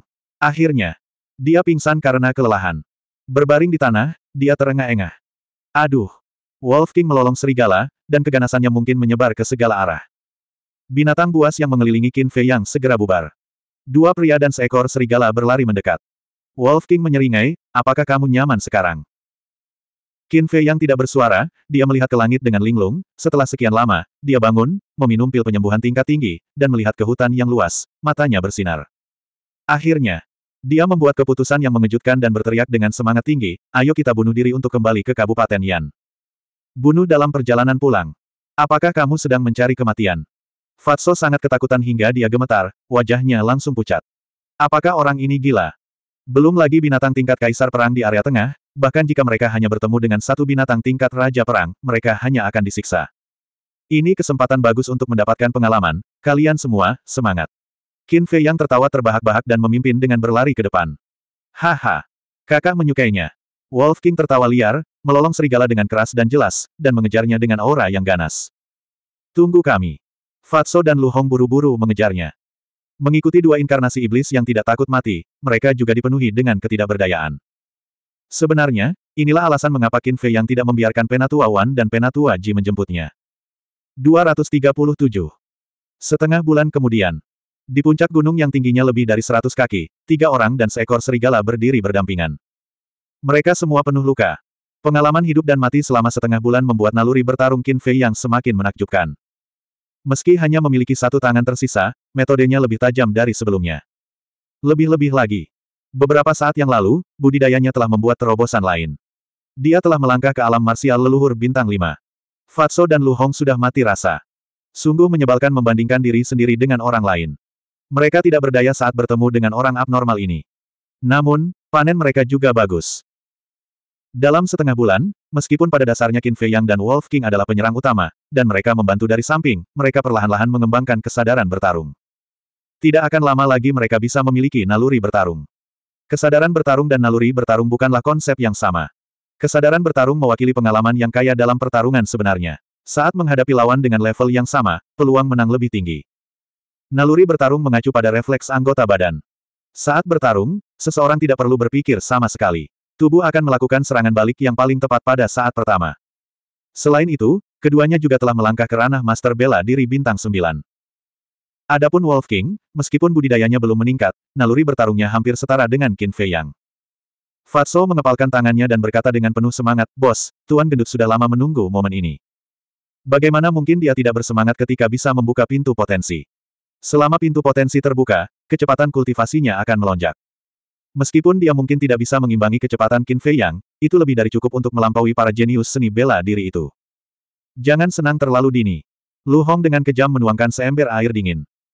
Memang benar dia telah menerobos ke ranah Master Bela Diri Bintang 9, tetapi tanpa seorang kaisar perang di sisinya, bagaimana dia bisa membuka pintu potensi? Saya sudah memikirkan masalah ini. Ayo kita cari monster setingkat kaisar perang di area tengah. Biarkan mereka membantu. Qin Fei yang tertawa. Fatih terkekeh dan berkata, bos punya pandangan jauh ke depan. Apakah mereka akan membantu kita? Lagi pula, meskipun mereka membantu kita, saya khawatir kita tidak akan bisa mencapai area pusat. Lu Hong sangat khawatir. Pada titik ini, aura binatang buas yang dia rasakan semuanya tak terduga. Tanpa keraguan, mereka semua adalah monster tingkat Battle King. Jika seseorang ingin melewati area ini dan memasuki area tengah, mereka harus bisa terbang. Bahkan jika dia terbang, dia mungkin tidak bisa terbang. Karena banyak burung ganas yang juga bisa terbang. Bisakah kamu percaya padaku? Qin Fei yang memandang Lu Hong tanpa daya. Kenapa gadis kecil ini selalu suka menyiramku dengan air dingin? Berikutnya, dia mengirim Fatso dan Lu Hong ke kastil. Kemudian, dia dan Wolf King menyelinap menuju area tengah. Benar sekali. Mereka menyelinap ke area tengah. Meskipun dia berani, dia tahu batasannya sendiri. Menghadapi binatang buas tingkat Raja Tempur, mustahil baginya untuk menang. Hidung Wolf King sangat tajam. Dia bisa mencium bau binatang terlebih dahulu. Jika mereka menemui keberadaan yang kuat, mereka akan mengambil jalan memutar. Atau dia bisa bersembunyi di kastil dan membuang waktu bersama pihak lain. Dengan demikian, sepanjang perjalanan, tidak ada kecelakaan. Lima hari kemudian, Raja Serigala mengikuti auranya dan membawa Qin Fei yang ke kaki gunung raksasa. Wolf King melihat sekeliling dengan diam-diam dan tidak menemukan binatang buas apa pun. Dia diam-diam menghela nafas lega, Qin Zi kecil, ada aura yang sangat menakutkan di puncak gunung. Apakah kamu siap? Qin Fei yang mengangguk. Seorang manusia dan seekor serigala segera berangkat dan mendaki menuju puncak gunung. Dalam perjalanan, mereka tidak menemukan satu pun binatang buas. Bahkan tidak ada satu bak pun. Terjadi keheningan yang mematikan. Dari sini, Qin Fei yang menilai bahwa binatang buas di atas pasti adalah kaisar binatang. Karena binatang buas lainnya tidak berani masuk ke wilayah kaisar binatang. Setengah jam berlalu. Seorang manusia dan seekor serigala akhirnya naik ke puncak gunung. Sejauh mata memandang, pepohonan purba menjulang tinggi ke langit, ilalang hijau sangat lebat, dan bunga-bunga liar bermekaran, memancarkan aroma yang memabukkan. Di sini tenang dan damai. Namun, hati satu pria dan satu serigala ada di tenggorokan mereka. Pasalnya, Puluhan meter jauhnya, terdapat sebuah batu bulat besar berwarna hitam dengan permukaan sehalus cermin. Dan di atas batu bundar itu, ada seekor burung ganas tergeletak di perutnya. Bentuknya seperti elang, namun kepalanya seperti kepala singa. Panjang kepalanya lebih dari 10 meter, dan bulu hitamnya seperti potongan sutra, mengalir dengan lapisan cahaya yang indah. Elang berkepala singa. Qin Fei yang menelan ludahnya dan mengucapkan nama itu dengan susah payah. Elang berkepala singa, dengan tubuh elang dan kepala singa, sangatlah ganas. Qin Fei yang tidak menyangka akan bertemu pria mengerikan seperti itu. Elang kepala singa pun membuka matanya dan memandang manusia dan serigala itu seolah-olah melihat sepiring makanan lesat. Matanya bersinar terang. Maaf mengganggumu. Kami akan segera pergi. Qin Fei yang melambaikan tangannya, mengedipkan mata pada Wolf King, dan buru-buru pergi. Suara mendesing. Namun saat mereka berbalik, angin kencang bertiup di puncak gunung. Elang berkepala singa melebarkan sayapnya dan berdiri di depan manusia dan serigala. Bukankah sia-sia jika tidak memakan makanan yang diantarkan ke rumahku? Elang berkepala singa tersenyum kejam. Kamu berani memakanku. Percaya atau tidak, aku akan menghancurkanmu. Raja Serigala berdiri seperti manusia dan berteriak pada Lion Head Eagle. Wajah Qin Fei yang berkedut. Serigala bajingan ini masih belum mengerti situasinya. Siapa yang akan menghancurkan siapa sekarang? Hem. Elang berkepala singa memandang Wolf King dengan aneh dan berkata sambil bercanda, apakah kamu tahu kekuatanku? Wolf King berkata dengan arogan, Bajingan, aku tidak peduli apa kekuatanmu. Aku akan memberimu kesempatan. Jadilah pengikut kecilku, dan aku akan menyelamatkan hidupmu. Eh. Qin Fei yang tercengang. Dari mana orang ini mendapatkan keberanian untuk menjadi begitu sombong di depan monster setingkat kaisar? Sejujurnya, saya adalah dewa serigala yang tiada taraf. Saya baru saja menyegel kultivasi saya dan datang ke dunia fana untuk mendapatkan pengalaman, jadi jangan memprovokasi saya. Jika tidak, saya akan menggoreng dan merebus Anda. Wolf King tampak seperti penipu saat dia membual. Belum lagi, dia benar-benar memiliki aura seorang penguasa. Kamu mendekati kematian. Elang berkepala singa sangat marah. Aura menakutkan mengalir ke arah pria dan serigala itu. Jelas sekali. Ia tidak mempercayai omong kosong Wolf King. Jika itu benar-benar dewa serigala yang tiada taranya, mengapa ia menyelinap? Kalau mau sesumbar harus lihat siapa targetnya. Qin Fei yang meraih Raja Serigala dan bersembunyi di kastil tanpa ragu-ragu. Wolf King menghela nafas, sepertinya aura tuanku tidak cukup. Itu perlu diredakan. Tuan aura. Itu pasti aura seorang raja. Qin Fei yang memutar matanya. Di luar. Elang berkepala singa terkejut. Beberapa saat yang lalu, itu masih dalam garis pandangnya. Bagaimana itu bisa menghilang begitu saja? Mungkinkah dia salah menilai dan benar-benar dewa serigala yang tiada taranya? Memadamkan. Qin Fei yang muncul dari udara lagi, dan buru-buru menangkupkan tangannya, senior, kami datang ke sini tanpa niat buruk, kami hanya ingin meminta bantuan kecil darimu. Elang berkepala singa mengejek, apakah menurut Anda kaisar ini orang yang baik hati? Manusia. Qin Fei yang terkejut, dan hanya mengikuti niat elang berkepala singa, dan tertawa, senior adalah ahli dunia lain, Anda pasti tidak akan membantu kentang goreng seperti kami. Itu benar. Elang berkepala singa membuka mulutnya dan berkata, cepat masuk ke mulut kaisar ini. Hanya hantu yang mau masuk ke mulutmu. Qin Fei yang bergumam, wajahnya berkedut tanpa henti. Lagi pula, itu adalah binatang setingkat kaisar perang, bukankah itu lucu? Kamu tidak tahu apa yang baik untukmu. Tatapan elang berkepala singa berubah dingin dan menjadi sangat tajam. Ledakan. Kekuatan mengerikan sekali lagi menyelimuti Qin Fei Yang. Qin Fei Yang dipenuhi dengan ketidakberdayaan, dan hanya bisa bersembunyi di kastil sekali lagi. Fatso berkata dengan wajah kecewa, sepertinya itu tidak akan membantu kita, cepat pikirkan cara untuk meninggalkan tempat ini. Mudah untuk masuk, tapi sulit untuk keluar. Qin Fei Yang menggelengkan kepalanya. Dia menunduk dan merenung sejenak.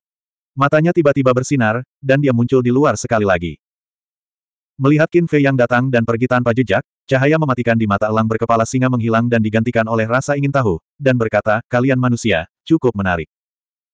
Qin Fei yang berkata, senior, selama Anda setuju untuk membantu, selain mengizinkan saya masuk ke mulut Anda, Anda dapat memberi saya syarat apa pun.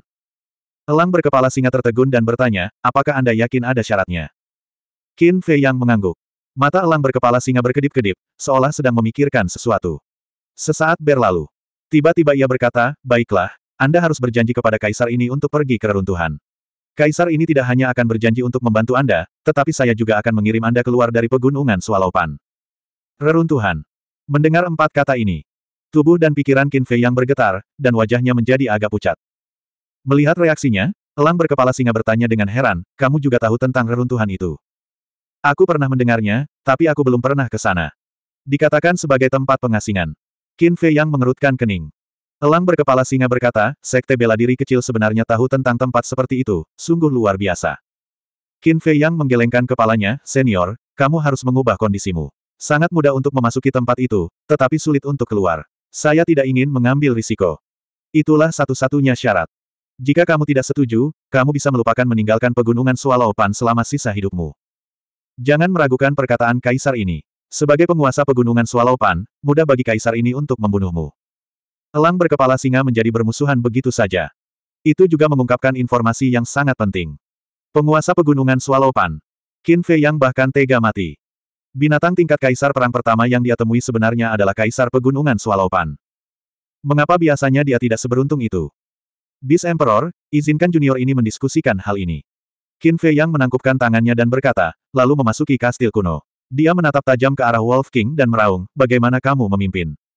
Kamu benar-benar menerobos masuk ke sarang bis Emperor di pegunungan Swallopan, bukankah kamu sedang mencari kematian? Wolf King juga hampir menangis. Keberuntungan ini terlalu menantang surga. Lu Hong menutup mulutnya dan tertawa, lalu bertanya pada Qin Fei Yang, reruntuhan seperti apa yang membuatmu begitu takut?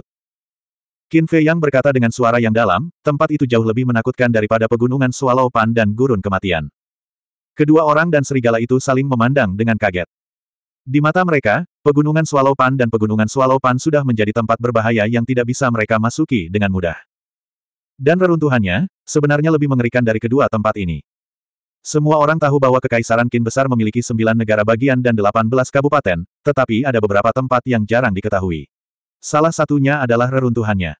Karena lingkungan reruntuhan tidak hanya sangat keras, kehidupan juga sangat kejam.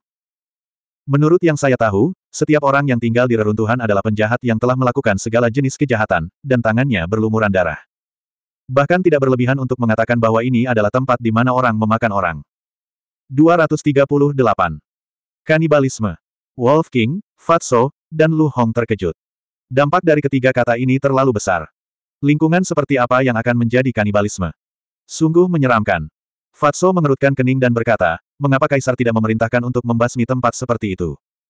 Saya mendengar bahwa reruntuhan itu tidak berada di ibu kota kekaisaran, atau di ibu kota negara bagian. Letaknya di antara Kabupaten Bai dan Kabupaten Si dari 18 kabupaten. Qin Fei Yang menjelaskan. Lempeng kekaisaran Qin besar berpusat di sekitar ibu kota kekaisaran. Sembilan ibu kota negara bagian mengelilingi ibu kota kekaisaran. Dan 18 kabupaten itu seperti lingkaran, mengelilingi sembilan ibu kota negara bagian. Reruntuhan dan 18 kabupaten itu berdampingan, dan luasnya tidak lebih kecil dari kabupaten mana pun. Meskipun reruntuhannya penuh dengan orang-orang keji, ada aturan bahwa siapa pun boleh masuk, tapi begitu mereka masuk, mereka tidak akan pernah bisa keluar. Jika ada yang berani menyelinap keluar, satu-satunya hasil yang akan mereka hadapi adalah kematian. Dari awal kekaisaran Qin besar hingga saat ini, tidak ada seorang pun yang berhasil melarikan diri dari reruntuhan. Jadi, Apakah itu ibu kota negara atau ibu kota kekaisaran, mereka tidak menanyakannya. Terus terang, tempat ini telah ditinggalkan dan dibiarkan mengurus dirinya sendiri. Setelah mendengarkan ini, Fatso dengan tegas menggelengkan kepalanya dan berkata, tempat sialan ini, kita benar-benar tidak bisa pergi.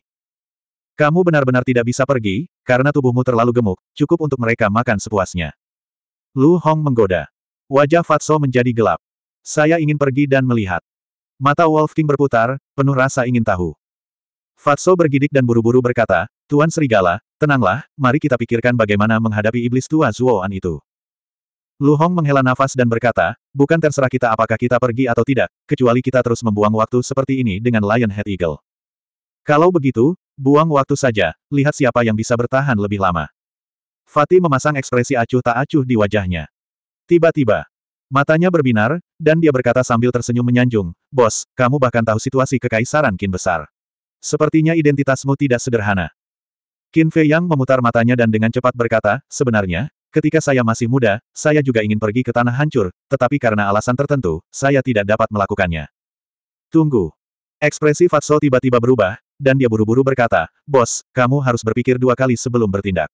Tempat itu setara dengan 18 tingkat neraka. Kami sama sekali tidak bisa menyentuhnya. Lihat dirimu, memalukan sekali. Mata Wolf King dipenuhi dengan penghinaan. Tuan gendut sangat tidak berguna. Aku tidak bisa berbuat apa-apa. Sikap Fatso yang tak kenal takut membuat kakak Wolf mengertakkan gigi karena marah. Aku hanya bilang. Qin Fei yang tersenyum dan meninggalkan kastil, mencari kesempatan untuk meninggalkan puncak gunung. Namun, elang kepala singa sepertinya tahu bahwa dia tidak bisa bergerak dan telah berjaga di luar. Melihat Qin Fei yang keluar, pupil besar elang kepala singa berkedip dengan cahaya dingin yang menakjubkan, dan berkata, bagaimana diskusinya? Aku akan memberitahumu dengan jelas, kamu harus pergi hari ini meskipun kamu tidak mau. Qin Fei yang tersenyum dan berkata, Kaisar Binatang Senior, aku masih memiliki beberapa hal yang harus diurus. Setelah aku selesai, aku akan berjanji padamu untuk pergi ke tanah hancur, bagaimana? Baiklah. Sedikit keceriaan melintas di mata Lion Head Eagle. Sangat mudah. Qin Fei yang tercengang. Dia tidak terlalu peduli, dia harus menyelinap pergi dulu. Tanpa ragu, dia melompat dari puncak gunung dan berlari menuju kaki gunung. Sebenarnya dia tidak mengejarnya. Ketika dia sudah setengah jalan mendaki gunung, Qin Fei yang mendongak dan melihat bahwa kepala singa elang acuh tak acuh. Wajahnya penuh kejutan. Kapan binatang buas seperti itu menjadi begitu mudah diajak bicara? Tapi tiba-tiba, elang kepala singa tiba-tiba mengeluarkan suara gemuruh yang menyebar ke segala arah. Itu seperti auman singa, tapi juga seperti tangisan elang. Dalam sekejap, binatang buas dalam radius puluhan mil berubah menjadi arus deras dan menyerbu. Ke mana pun mereka lewat, Pepohonan tumbang, gunung-gunung pendek runtuh, dan terinjak-injak hingga tak bisa dikenali lagi. Mereka semua adalah binatang buas yang menjadi panglima perang. Lebih-lebih lagi. Pada saat yang sama, ada juga lebih dari selusin aura menakutkan yang membubung ke langit. Mengikuti dengan cermat. Lebih dari selusin binatang buas bergegas keluar dari pegunungan dan terbang di udara seperti kilat. Binatang buas yang bisa terbang, tanpa diragukan lagi, semuanya adalah makhluk di alam panglima perang. Qin Fei yang menginjak rem dan berhenti di samping pohon besar. Tatapannya menembus dahan dan memandang ke arah langit. Wajahnya langsung dipenuhi keterkejutan. Dengan suara gemuruh, ia melonjak ke segala arah. Elang kepala singa benar-benar kaisar pegunungan Swallow Ini menyusahkan. Serigala bermata putih telah membawanya ke dalam lubang. Mendesah. Ia menghela nafas panjang dan kembali ke puncak gunung dengan hati penuh ketidakberdayaan. Yo, apakah kamu tidak ada urusan? Kenapa kamu kembali? Lionhead Eagle memiliki nada main-main. Senior Beast Emperor, kamu tidak bisa bermain seperti ini. Qin Fei yang melirik binatang buas alam kaisar perang yang terbang di atasnya, dan menatap elang kepala singa dengan kebencian. Kalau begitu katakan padaku, apakah kamu ingin pergi ke reruntuhan? Kata elang kepala singa. Qin Fei yang mengerutkan kening, bolehkah saya bertanya dulu, mengapa Anda ingin pergi ke reruntuhan? Elang kepala singa kembali mengaum. Gelombang binatang buas yang melonjak dari segala arah berhenti secara serempak. Qin Fei yang menghela nafas lega. Menghadapi begitu banyak binatang buas yang kuat, dia sedikit banyak merasa gugup. Tapi kemudian, dia terkejut saat mengetahui bahwa tatapan Lion Head Eagle sebenarnya menjadi lembut. Seolah-olah dia tenggelam dalam masa lalu. Sesaat kemudian, tatapannya sekali lagi menjadi sangat tajam saat berkata, Kaisar ini ingin kamu menyelamatkan seseorang. Selamatkan seseorang. Aku hanya seorang alam leluhur bela diri bintang lima. Bahkan jika aku pergi ke reruntuhan, aku mungkin tidak akan berhasil. Senior, Kenapa kamu masih bersikeras melepaskanku? Lagi pula, masih banyak orang yang lebih kuat dariku. Kenapa kamu tidak mencari mereka? Wajah Qin Fei Yang dipenuhi kebingungan. Dengan sedikit kekuatanmu, kamu memang tidak setara. Tetapi kamu memiliki sesuatu yang tidak dimiliki orang lain, dan itulah harta karun yang kamu sembunyikan. Kaisar ini tidak tahu apakah kamu bisa berhasil atau tidak, tetapi kaisar ini ingin mencobanya. Tentu saja, kaisar ini tidak akan membiarkanmu lari sia-sia. Jika kamu berhasil menyelamatkannya, kaisar ini akan menjanjikanmu janji tanpa syarat. Kata elang kepala singa. Wajah Qin Fei yang membeku. Siapa sebenarnya orang yang ingin dia selamatkan? Apakah Lion Head Eagle layak membayar harga seperti itu? Setelah hening beberapa saat, Qin Fei Yang bertanya, jika saya berkata, bantu saya meratakan Kabupaten Yan, apakah Anda berani? Elang kepala singa berkata, selama kamu bisa sukses, kaisar ini akan melakukan apa pun yang kamu inginkan. Jika kamu tidak percaya padaku, kaisar ini bisa bersumpah. Aku akan pergi. Qin Fei Yang terkejut. Seseorang harus mengetahuinya. Kehancuran suatu daerah bukanlah permainan anak-anak. Ini secara langsung akan membuat ibu kota kekaisaran khawatir. Saat itu, yang menunggu Lion Head Eagle adalah kehancuran. Sebagai Beast Emperor, Lionhead Eagle juga harus mengetahui hal ini. Namun, dia sebenarnya menyetujuinya tanpa ragu sedikit pun. Ini luar biasa. Elang kepala singa menghela nafas, sejujurnya, orang yang ingin diselamatkan kaisar ini adalah Tuan Kaisar. Kaisar ini telah terpisah darinya selama lebih dari 20 tahun. Menguasai. Qin Fei yang terkejut lagi. Setelah terpisah selama lebih dari 20 tahun, jika itu adalah manusia, orang ini pasti sudah lama terlupakan.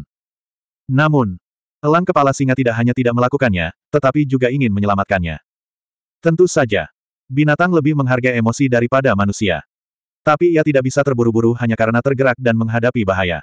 Pikiran Qin Fei yang tergerak, Wolf King, Fatso, dan Lu Hong muncul begitu saja. Qin Fei yang menjelaskan situasinya dengan singkat dan bertanya, bagaimana menurut Anda? Pergilah, tentu saja kita harus pergi. Kata Raja Serigala tanpa ragu-ragu. Fatso menggelengkan kepalanya dan berkata, kami tidak bisa pergi karena kami tidak tahu apakah itu benar atau bohong untuk mendapatkan simpati. Terlebih lagi, Tuan Gendut tidak berani mempercayai janjinya. Elang kepala singa melotot dan berkata dengan marah, Kaisar ini bersumpah bahwa jika ada setengah kebohongan, surga akan menghukumku dan aku tidak akan pernah bereinkarnasi. Fatso berkata dengan nada menghina, Tuan Gemuk bersumpah setiap hari, tapi saya tidak melihat dia dihukum oleh surga. Elang kepala singa tiba-tiba menjadi cemas. Fatso, jangan terlalu agresif. Lu Hong mengerutkan kening. Dia memandang Qin Fei Yang dan berkata, sebaliknya, saya percaya apa yang dikatakannya benar. Selain itu, kita tidak punya pilihan saat ini. Benarkah, jika kamu tidak pergi, kamu akan mati? Apakah kamu ingin mati? Wolf King memandang Fatso dan berkata. Leher Fatso menciut. Qin Fei Yang merenung sejenak, lalu menghela nafas, Lu Hong benar, kita benar-benar tidak punya pilihan. Ia bisa tinggal di sini selama lebih dari 20 tahun, kita tidak bisa bertahan lebih lama darinya. Dalam 20 tahun lagi, saya khawatir kita semua akan berubah menjadi abu. Lu Hong tersenyum pahit. Qin Fei Yang mengertakkan gigi dan berkata, kalau begitu, mari kita ambil risiko. Bagaimanapun, saya juga sedikit penasaran dengan reruntuhannya. Sudah berakhir, sudah berakhir, mereka semua menjadi gila. Fatso bergumam pada dirinya sendiri, wajahnya pucat. Terima kasih. Elang kepala singa sangat gembira. Cahaya mematikan di matanya dan aura pembunuh yang terpancar dari tubuhnya akhirnya lenyap sama sekali dan digantikan oleh rasa syukur. Qin Fei yang tampak sedikit tidak berdaya. Kaisar binatang senior, meskipun aku setuju untuk pergi, tempat ini berjarak ribuan mil dari reruntuhan. Perjalanan ini juga penuh bahaya. Dengan kekuatan dan kecepatan kita, saya khawatir kita akan mati dalam perjalanan sebelum mencapai reruntuhan. Qin Fei yang mengerutkan kening. Itu terlalu sederhana. Elang kepala singa penuh percaya diri. Lihat, apa yang ada di langit. Fatso menunjuk ke langit. Qin Fei Yang dan yang lainnya mendongak. Tidak ada apa-apa. Itu sapi. Langit penuh dengan sapi yang beterbangan. Fatso memutar matanya. Jelas sekali, dia sedang mengejek Lion Head Eagle. Bagaimanapun, dia tidak ingin pergi. Dia lebih baik mati di sini daripada pergi ke tempat terkutuk di mana orang memakan orang. Ada jejak ketidakberdayaan di mata Lion Head Eagle. Sebuah cahaya melintas di depannya, dan gerbang cahaya seukuran telapak tangan muncul di hadapan mereka dari udara tipis. Gerbang teleportasi. Mata Qin yang berbinar.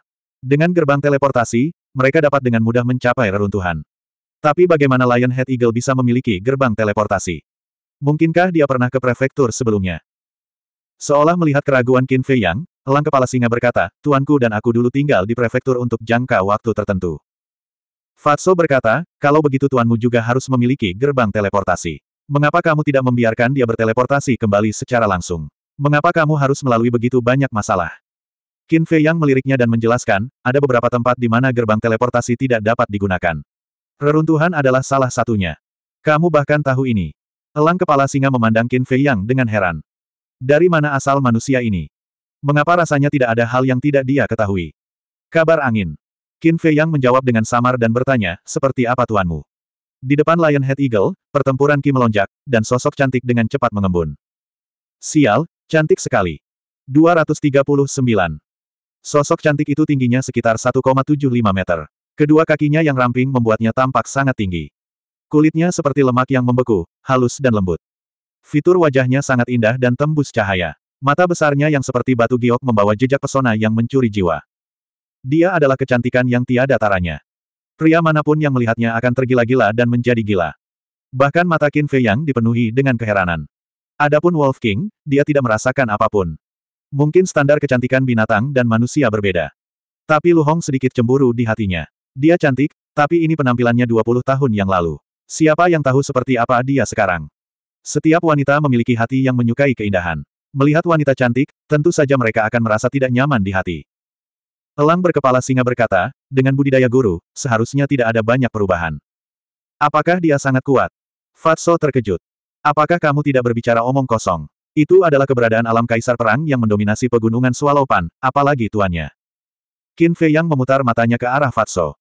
Elang berkepala singa berkata, sekarang katakan padaku, apa yang kamu ingin kaisar ini bantu? Fatso dan Lu Hong segera menjadi bersemangat. Qin Fei Yang mengeluarkan dua pil potensial dan menyerahkannya kepada Fatso dan Lu Hong. Dia berkata dengan hati-hati, membuka gerbang potensi bukanlah permainan anak-anak. Jika kamu tidak bisa bertahan, kamu akan mati di tempat. Apakah kamu siap? Keduanya mengangguk dan masing-masing meminum pil potensial. Ketika mereka melihat rasa sakit yang diderita Qin Fei Yang dan Raja Serigala ketika mereka membuka gerbang potensi di alun-alun di luar istana, mereka sudah siap secara mental. Qin Fei Yang memandang keduanya dalam-dalam, menoleh untuk melihat elang berkepala singa, dan berkata, Kaisar Binatang Senior, kamu hanya perlu melepaskan tekananmu. Elang berkepala singa berkata dengan heran, tunggu, maksudmu, mereka ingin menggunakan tekanan Kaisar ini untuk membuka gerbang potensi. Qin Fei yang mengangguk.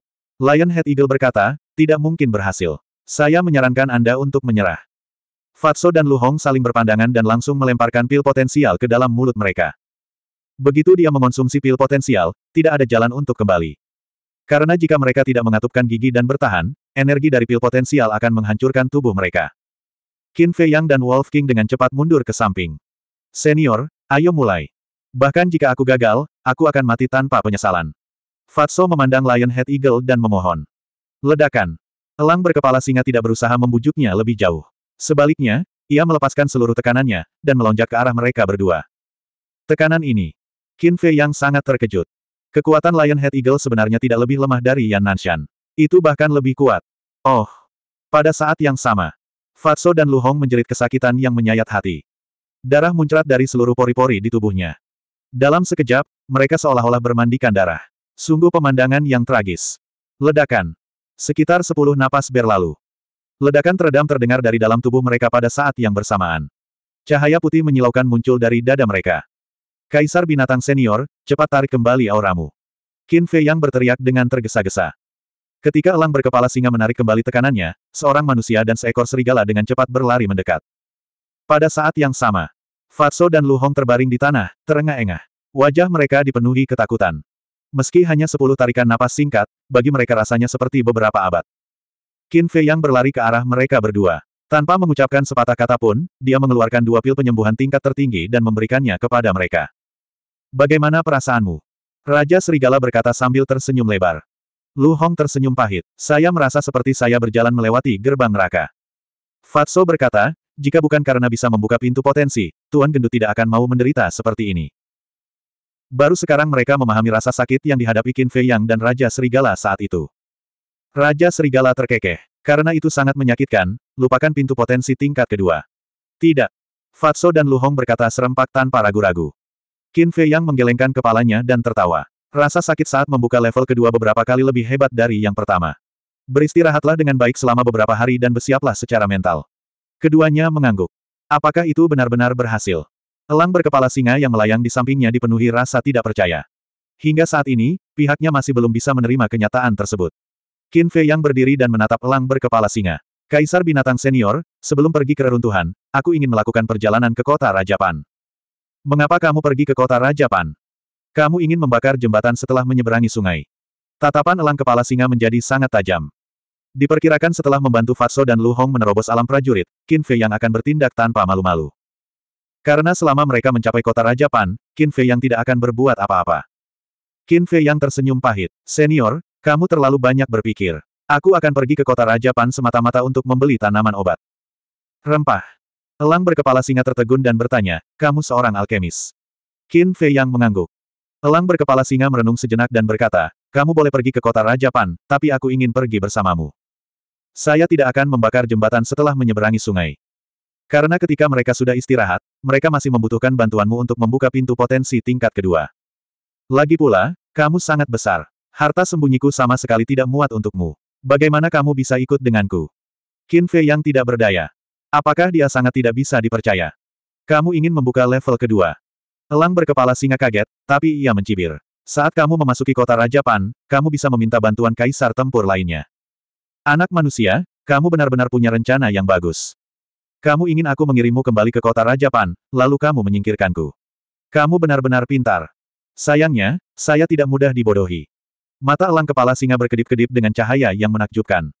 Qin Fei yang sedikit kesal. Baiklah, kamu boleh ikut dengan kami, tapi premisnya adalah kamu tidak bisa menarik perhatian orang lain.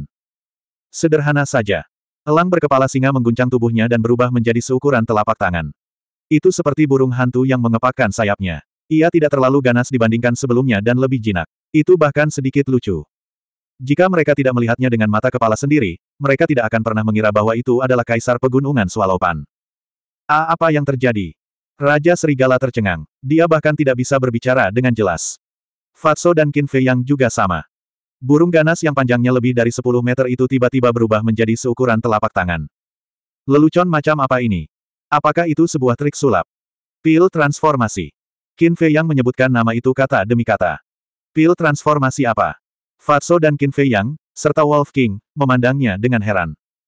Qin Fei Yang berkata, ketika seekor binatang meminumnya, ia dapat dengan bebas mengubah ukuran tubuhnya. Namun, Pil jenis ini sangat langka bahkan di ibu kota kekaisaran. Ibu kota negara juga harus punya. Tapi itu jelas lebih berharga dari ibu kota kekaisaran. Bahkan tidak bisa diukur dengan harga. Dari sini terlihat bahwa pemilik elang kepala singa pasti memiliki latar belakang yang luar biasa. Fatso dan Qin Fei Yang, serta Raja Serigala, tiba-tiba mengerti dan memandang elang berkepala singa dengan heran. Mereka tidak bodoh. Dari kata-kata Qin Fei Yang, mereka dapat menemukan beberapa petunjuk. Pada saat yang sama, Kebingungan di hati elang kepala singa semakin tak terkendali. Dia tahu segalanya. Tidak ada yang bisa disembunyikan darinya. Apa latar belakang masa muda manusia ini? Qin Fei Yang melambaikan tangannya dan mengirim Fatso dan Qin Fei Yang ke kastil. Dia tersenyum dan berkata, Senior Beast Emperor, kita tidak boleh menyia-nyiakan waktu. Ayo segera berangkat. Elang berkepala singa kembali ke bentuk aslinya dan membawa Qin Fei Yang. Seperti sambaran petir, ia terbang menuju Pan County. Binatang buas di bawah semuanya bersujud di tanah untuk mengusir mereka. Termasuk selusin monster kerajaan perang. Empat hari kemudian, seorang pria berotot berlengan satu berjalan keluar dari hutan lebat dekat kota Panwang. Di bahunya berdiri seekor burung hantu yang lucu. Itu adalah Qin Fei Yang dan elang berkepala singa. Elang berkepala singa bingung, anak manusia, mengapa kamu mengubah penampilanmu?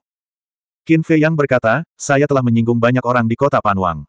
Jika saya menunjukkan penampilan asli saya, saya takut saya akan dibunuh bahkan sebelum saya memasuki kota. Di gerbang kota, Pejalan kaki datang dan pergi. Qin Fei yang berdiri di samping pohon kecil, mengamati sejenak, dan perlahan mengerutkan kening. Dia menemukan bahwa setiap orang yang masuk dan keluar kota Panwang akan diperiksa oleh batu mata surga. Sepertinya, Panwang belum menyerah untuk mencari Teta Wang. Apa yang salah? Elang berkepala singa bingung. Qin Fei yang berkata, saya khawatir kita harus berpindah tempat dan pergi ke kota Hayun. Tahukah Anda jalan menuju kota Hayun? Aku tahu. Elang berkepala singa mengangguk dan berkata, tetapi tidak perlu mengambil jalan memutar. Kaisar ini akan membawamu langsung masuk. Sebelum suaranya memudar, Qin Fei yang hanya merasakan tubuhnya menjadi ringan, dan pemandangan di depannya mundur seperti kilat. Hampir dalam sekejap mata, dia muncul di tengah kerumunan jalanan kota. Kerumunan di sekitar tidak menyadari bahwa ada orang tambahan yang muncul begitu saja. Bahkan jika seseorang memperhatikannya, mereka tidak memasukkannya ke dalam hati. Adapun penjaga di gerbang kota, mereka tidak menyadarinya sama sekali. Mereka hanya merasakan angin sepoi-sepoi bertiup melewati mereka. Sangat cepat. Qin Fei yang diam-diam terdiam. Jika dia memiliki kecepatan yang begitu cepat dan kekuatan yang begitu kuat, mengapa dia harus takut pada Pan Wang dan yang lainnya? Rumah bordil bunga. Qin Fei yang duduk di sudut lobi, minum sedikit anggur sambil mendengarkan diskusi di sekitarnya. Apakah kamu tahu? Qin Fei yang telah meninggal di pegunungan Swallow Pan. Bagaimana mungkin? Dari siapa kamu mendengarnya? Paman kedua saya adalah penjaga istana dan bertanggung jawab menjaga ruang singgasana. Dia mendengar diskusi antara komandan dan Pan Wang dengan telinganya sendiri. Sebuah percakapan menarik perhatian Qin Fei Yang. Dia melihat ke arah suara itu. Dia melihat beberapa anak muda berusia 20-an berkumpul di meja di sebelahnya, berbisik. Aneh. Bagaimana Pan Wang dan komandannya mengetahui bahwa saya telah mati di pegunungan Swalopan? Qin Fei yang bingung. Mungkinkah mereka juga hadir saat itu? Dia berdiri, memegang gelas wine, dengan senyuman di wajahnya, dan mencoba mendekati orang-orang itu. Sesaat kemudian, dia akhirnya mengetahui bahwa Panglima Besarlah yang telah membuntuti mereka sejak mereka meninggalkan Pan County. Pan Wang, Komandan, kamu sedang mendekati kematian. Niat membunuh Qin Fei yang melonjak. Dia awalnya hanya ingin tahu apakah sesuatu yang besar telah terjadi di kota Panwang dalam beberapa hari terakhir. Tapi dia tidak menyangka. Pada akhirnya, dia mengetahui berita yang sangat mengejutkan. Setelah mengobrol sebentar dengan orang-orang itu dan melihat bahwa tidak ada lagi berita berguna, Qin Fei yang berdiri dan pergi ke paviliun harta karun. 240.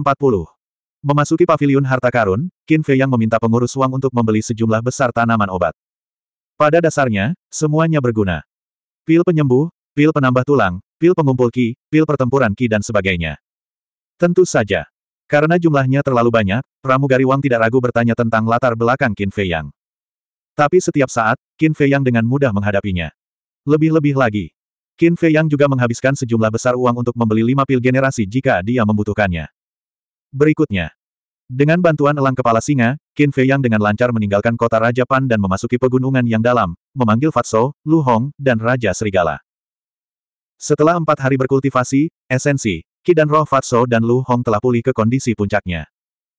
Dengan semangat pantang menyerah dan semangat tak kenal takut, mereka juga berhasil menerobos alam master bela diri dan membuka pintu potensi tingkat kedua. Kecepatan budidaya mereka telah melampaui Wolf King.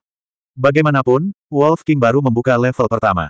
Qin Fei Yang juga meminum pil generasi. Lengan kirinya yang hilang akhirnya dikembalikan ke keadaan semula. Fatso dan Lu Hong beristirahat sebentar, menemukan kolam untuk membersihkan noda darah di tubuh mereka, dan berganti pakaian bersih. Lionhead Eagle membuka portal dan pergi ke reruntuhan. Jurang maut terhampar di bumi, membagi langit dan bumi menjadi dua dunia yang berbeda. Di dalam jurang, badai hitam mengamuk, mengeluarkan suara rengekan yang memekakkan telinga. Di atas jurang, ada jembatan rantai besi kuno. Jembatan itu berkarat dan memancarkan aura kuno. Itu hanya cukup lebar untuk dilalui satu orang. Berguncang hebat diterpa angin kencang, seperti ayunan, membuat orang takut untuk menginjaknya. Berdengung. Dalam kehampaan di atas jembatan. Sebuah pintu cahaya muncul dari udara tipis. Elang kepala singa membawa Qin Fei Yang dan yang lainnya keluar dari pintu cahaya dan mendarat di depan jembatan. Badai yang mengerikan. Fatso segera menciutkan lehernya dan segera mundur. Aura yang dipancarkan badai hitam membuatnya merasa seperti dewa kematian telah tiba. Jurang ini disebut jurang hitam. Jurang ini mengelilingi seluruh reruntuhan. Badai hitam di dalam jurang cukup kuat untuk mencabik-cabik kaisar pertempuran. Jembatan rantai besi ini adalah satu-satunya cara untuk memasuki reruntuhan. Murid Lionhead Eagle berkontraksi saat dia menjelaskan dengan nada serius. Qin Fei Yang juga terkejut. Tanah reruntuhan, jurang hitam, jembatan rantai, dan badai. Dia hanya pernah mendengarnya sebelumnya, tetapi ketika dia datang ke sini, dia menyadari bahwa itu bahkan lebih menakutkan daripada rumor yang beredar. Dia mengikuti jembatan rantai besi dan melihat reruntuhan di sisi lain. Namun, Reruntuhannya terlalu jauh, jadi dia tidak bisa melihatnya dengan jelas. Namun, mereka dapat melihat bahwa langit di atas reruntuhan diselimuti lapisan kabut yang tidak dapat disebarkan, memberikan rasa penindasan yang sangat dalam. Tanpa disadari, suasana hatinya menjadi berat. Melihat langit di atas kepala mereka, terdapat awan gelap sejauh ribuan mil dan matahari bersinar terang. Jurang hitam seakan menjadi garis pemisah, membagi dunia menjadi dua bagian. Pemandangan ini terlalu ajaib dan aneh. Aku tidak bisa pergi. Fatso bergumam pada dirinya sendiri ketika tubuhnya bergetar tak terkendali. Senior Beast Emperor, tidak ada badai hitam di langit. Bisakah kita terbang langsung di atasnya? Lu Hong bertanya. Dia baik-baik saja. Dia mengangkat kepalanya dan menatap langit dengan bingung. Meski wajahnya sedikit pucat, setidaknya dia tidak segan-segan Fatso. Lionhead Eagle tidak menjawab dan menatap Qin Fei Yang. Ia ingin melihat apakah manusia ini benar-benar maha kuasa dan maha tahu. Qin Fei yang tersenyum dan berkata, dikatakan bahwa ruang di atas jurang diselimuti oleh gaya gravitasi yang sangat menakutkan. Makhluk hidup mana pun yang ingin terbang di atasnya akan jatuh ke dalam jurang di bawah tekanan gaya gravitasi dan dibunuh tanpa ampun oleh kekuatan tersebut. Badai. Murid Lion Head Eagle berkontraksi. Mau tak mau ia bertanya, siapa kamu? Qin Fei yang tersenyum dan berkata, saya hanya orang biasa. Siapa yang kamu coba bodohi? Bagaimana orang biasa bisa mengetahui hal ini? Lion Head Eagle memutar matanya.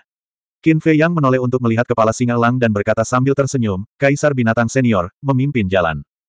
Aku tidak pergi. Kata kepala singa elang. Fatso berkata dengan marah, kami akan menyelamatkan tuanmu, tapi kamu bersembunyi dan mengirim kami ke kematian. Bukankah kamu terlalu licik?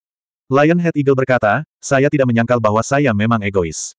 Jika Anda tidak kembali dalam 10 tahun, saya akan terus mencari orang untuk memasuki reruntuhan. Wolf King berkata dengan tidak senang, kamu berterus terang. Lion Head Eagle tidak peduli. Bulu hitam jatuh dari tubuhnya dan melayang di depan Qin Fei Yang. Saya tidak tahu di mana guru berada, tetapi jika Anda bertemu dengannya, bulu ini akan bersinar dan memandu Anda untuk menemukannya. Kata kepala singa elang. Qin Fei Yang mengambil bulu itu dan memasukkannya ke dalam tas Qian Kun miliknya. Dia bertanya, apakah kamu pernah mencari yang lain sebelumnya? Ya, tapi ketika mereka datang ke sini, mereka semua mulai menyesal. Pada akhirnya, mereka semua dilempar ke jurang hitam olehku. Kata kepala singa elang. Wajah Fatso menjadi pucat, sepertinya dia harus pergi hari ini. Hah! Qin Fei Yang menarik napas dalam-dalam. Setelah mengirim Fatso dan Wolf King ke dalam kastil, dia melihat ke arah jembatan rantai besi dan berjalan tanpa ragu-ragu. Lion Head Eagle berkata dengan lantang, selama 10 tahun ke depan, saya akan menunggu Anda di sini. Saya berharap Anda kembali dengan penuh kemenangan. Jangan lupa janjimu. Qin Fei Yang berkata tanpa menoleh, dan berjalan menuju sisi berlawanan selangkah demi selangkah. Jembatan rantai besi itu bergetar hebat. Tidak ada yang perlu dipertahankan di kedua sisi. Bisa dikatakan sulit untuk dipindahkan. Setelah berjalan hanya belasan meter, dia hampir terjatuh dua kali. Hah! Melihat jembatan rantai besi yang tak berujung, Qin Fei yang menghela nafas panjang. Dia berjongkok dan dengan kuat meraih tepi kedua sisinya, bergerak ke sisi yang berlawanan sedikit demi sedikit. Sepuluh hari penuh telah berlalu. Qin Fei yang akhirnya bisa melihat reruntuhannya. Namun apa yang dilihatnya hanyalah puncak gunung es. Tidak ada tanda-tanda kehidupan. Itu seperti tanah kematian. Di dalam kehampaan, ada lapisan tipis kabut hitam. Meski tidak mempengaruhi penglihatannya, hal itu membuatnya merasa tidak nyaman. Dan tak jauh dari jembatan, terdapat sebuah kastil gelap yang memancarkan aura misterius dan dingin. Setengah jam lagi berlalu. Qin Fei yang akhirnya melangkah ke tanah reruntuhan. Perasaan pertama terasa dingin. Itu bukan cuaca dingin. Rasanya dingin dan suram seolah-olah dia berada di neraka. Hal itu membuatnya merasa tidak nyaman dan bahkan sedikit takut. Tanpa sadar, pori-pori Qin Fei yang mengendur, dan tubuh serta pikirannya memasuki kondisi kewaspadaan. Melihat sekeliling, semuanya tampak sunyi. Tanah tandus, pegunungan tandus, dan sungai tandus. Seolah-olah dialah satu-satunya orang di dunia ini. Suasana benar-benar sunyi. Kesepian dan kepanikan yang tak bisa dijelaskan muncul tak terkendali dan menyerang hatinya. Dia buru-buru memanggil Wolf King untuk menemaninya. Adapun Fatso dan Lu Hong, mereka baru saja membuka gerbang potensi tingkat kedua dan sibuk berkultivasi. Mengapa tempat ini begitu sepi? Begitu Wolf King keluar dan melihat pemandangan di depannya, pupil matanya mengecil. Hati-hati. Qin Fei yang memperingatkan dan berbalik untuk melihat ke belakang. Jembatan rantai besi itu masih ada, dan tidak ada perubahan. Namun dia merasakan perasaan yang sangat nyata bahwa jembatan rantai besi itu menjadi berbeda dari sebelumnya. Matanya berkedip, dan dia dengan hati-hati melangkah keluar dengan kaki kanannya. Begitu dia mendarat di jembatan rantai besi, gravitasi yang mengerikan runtuh. Dalam sekejap, seluruh kaki kanannya langsung tertimpa gravitasi. Darah berceceran di langit. Rasa sakit yang menyayat hati melanda hatinya seperti air pasang. Qin Fei yang berteriak, kehilangan keseimbangan, dan jatuh ke dalam jurang. Brengsek. Qin Fei yang cemas. Melihat Qin Fei yang akan jatuh ke dalam jurang hitam, Raja Serigala mendengar gerakan itu, tiba-tiba berbalik, menggigit pakaiannya, dan menariknya kembali dengan kuat. Poci. Pakaiannya robek, tapi Qin Fei yang juga ditarik kembali. Duduk di tanah, dia memandangi jembatan rantai besi dengan kaget, wajahnya pucat. Apa yang sedang terjadi? Wolf King terkejut dan berjalan menuju jembatan rantai besi. Jangan pergi. Wajah Qin Fei yang berubah. Dia buru-buru menyeretnya dan berkata, sekarang ada gravitasi di jembatan. Kakiku remuk oleh gravitasi. Apa? Wolf King ketakutan dan melangkah mundur, matanya penuh ketakutan. Qin Fei yang mengeluarkan pil generasi dan menelannya. Sambil memandangi jembatan rantai besi, ia menunggu kaki kanannya diperbaiki. Wolf King bertanya, lalu, bagaimana kita akan kembali di masa depan? Qin Fei yang merenung sejenak dan berkata, mari kita bicarakan nanti, pasti ada jalan. Untungnya, dia memiliki pandangan ke depan untuk menyiapkan beberapa pil generasi lagi. Kalau tidak, dia akan menjadi cacat sekarang. Setelah kaki kanannya diperbaiki, Qin Fei yang bangkit dan bergerak, lalu berbalik dan berjalan menuju kastil hitam. Wolf King mengikuti di sampingnya. Di tempat ini, segalanya tidak diketahui. Dia tidak bisa gegabah. Setelah berjalan beberapa saat, Qin Fei Yang mengerutkan kening dan berkata, inti dari tempat ini terlalu tipis. Raja Serigala mengangguk. Dia akhirnya mengerti mengapa Qin Fei Yang pergi ke kota Panwang dan membeli sejumlah besar tanaman obat. Karena di tempat seperti itu, jika tidak ada pil, mustahil untuk bercocok tanam. Sesaat kemudian, sebelum mereka tiba di kastil, gerbang kastil ditutup, dan aura dingin menerpa wajah mereka. Qin Fei Yang dengan santai melihat sekeliling. Tiba-tiba, seluruh tubuhnya dingin, dan matanya terpaku pada bagian atas kastil. Dia melihat seorang lelaki tua berambut hitam berdiri di sana. Dia kurus dan mengenakan jubah hitam. Rambutnya acak-acakan, matanya dalam, memancarkan cahaya suram. Dia menundukkan kepalanya dan menatap pria dan serigala itu. Sekilas, dia tampak seperti hantu dari neraka, membuat kulit kepala Qin Fei Yang dan Raja Serigala mati rasa. Hehe. Tiba-tiba, orang tua berpakaian hitam itu melompat turun dengan seringai menakutkan dan mendarat di tanah. Pria dan serigala itu menjadi tegang dan segera mundur. Orang tua berpakaian hitam itu menyeringai dan berkata, lingkungan di luar sangat bagus, tapi kamu masih sampai di reruntuhan. Kamu benar-benar bodoh. Qin Fei Yang menstabilkan pikirannya dan berkata tanpa daya, saya tidak punya pilihan. Saya telah menyinggung terlalu banyak orang. Jika saya tidak memasuki reruntuhan, saya akan mati. Sebagian besar orang di reruntuhan datang ke sini untuk berlindung karena mereka sedang diburu. Tapi sekarang, mereka semua menyesalinya. Mereka lebih memilih mati di luar daripada tinggal di sini dan menderita, termasuk orang tua ini. Tidak akan lama lagi kamu akan menyesalinya juga. Orang tua berpakaian hitam itu tertawa sinis. Karena kita di sini, santai saja. Qin Fei Yang menghela nafas. Kalau begitu, masuklah bersama orang tua ini.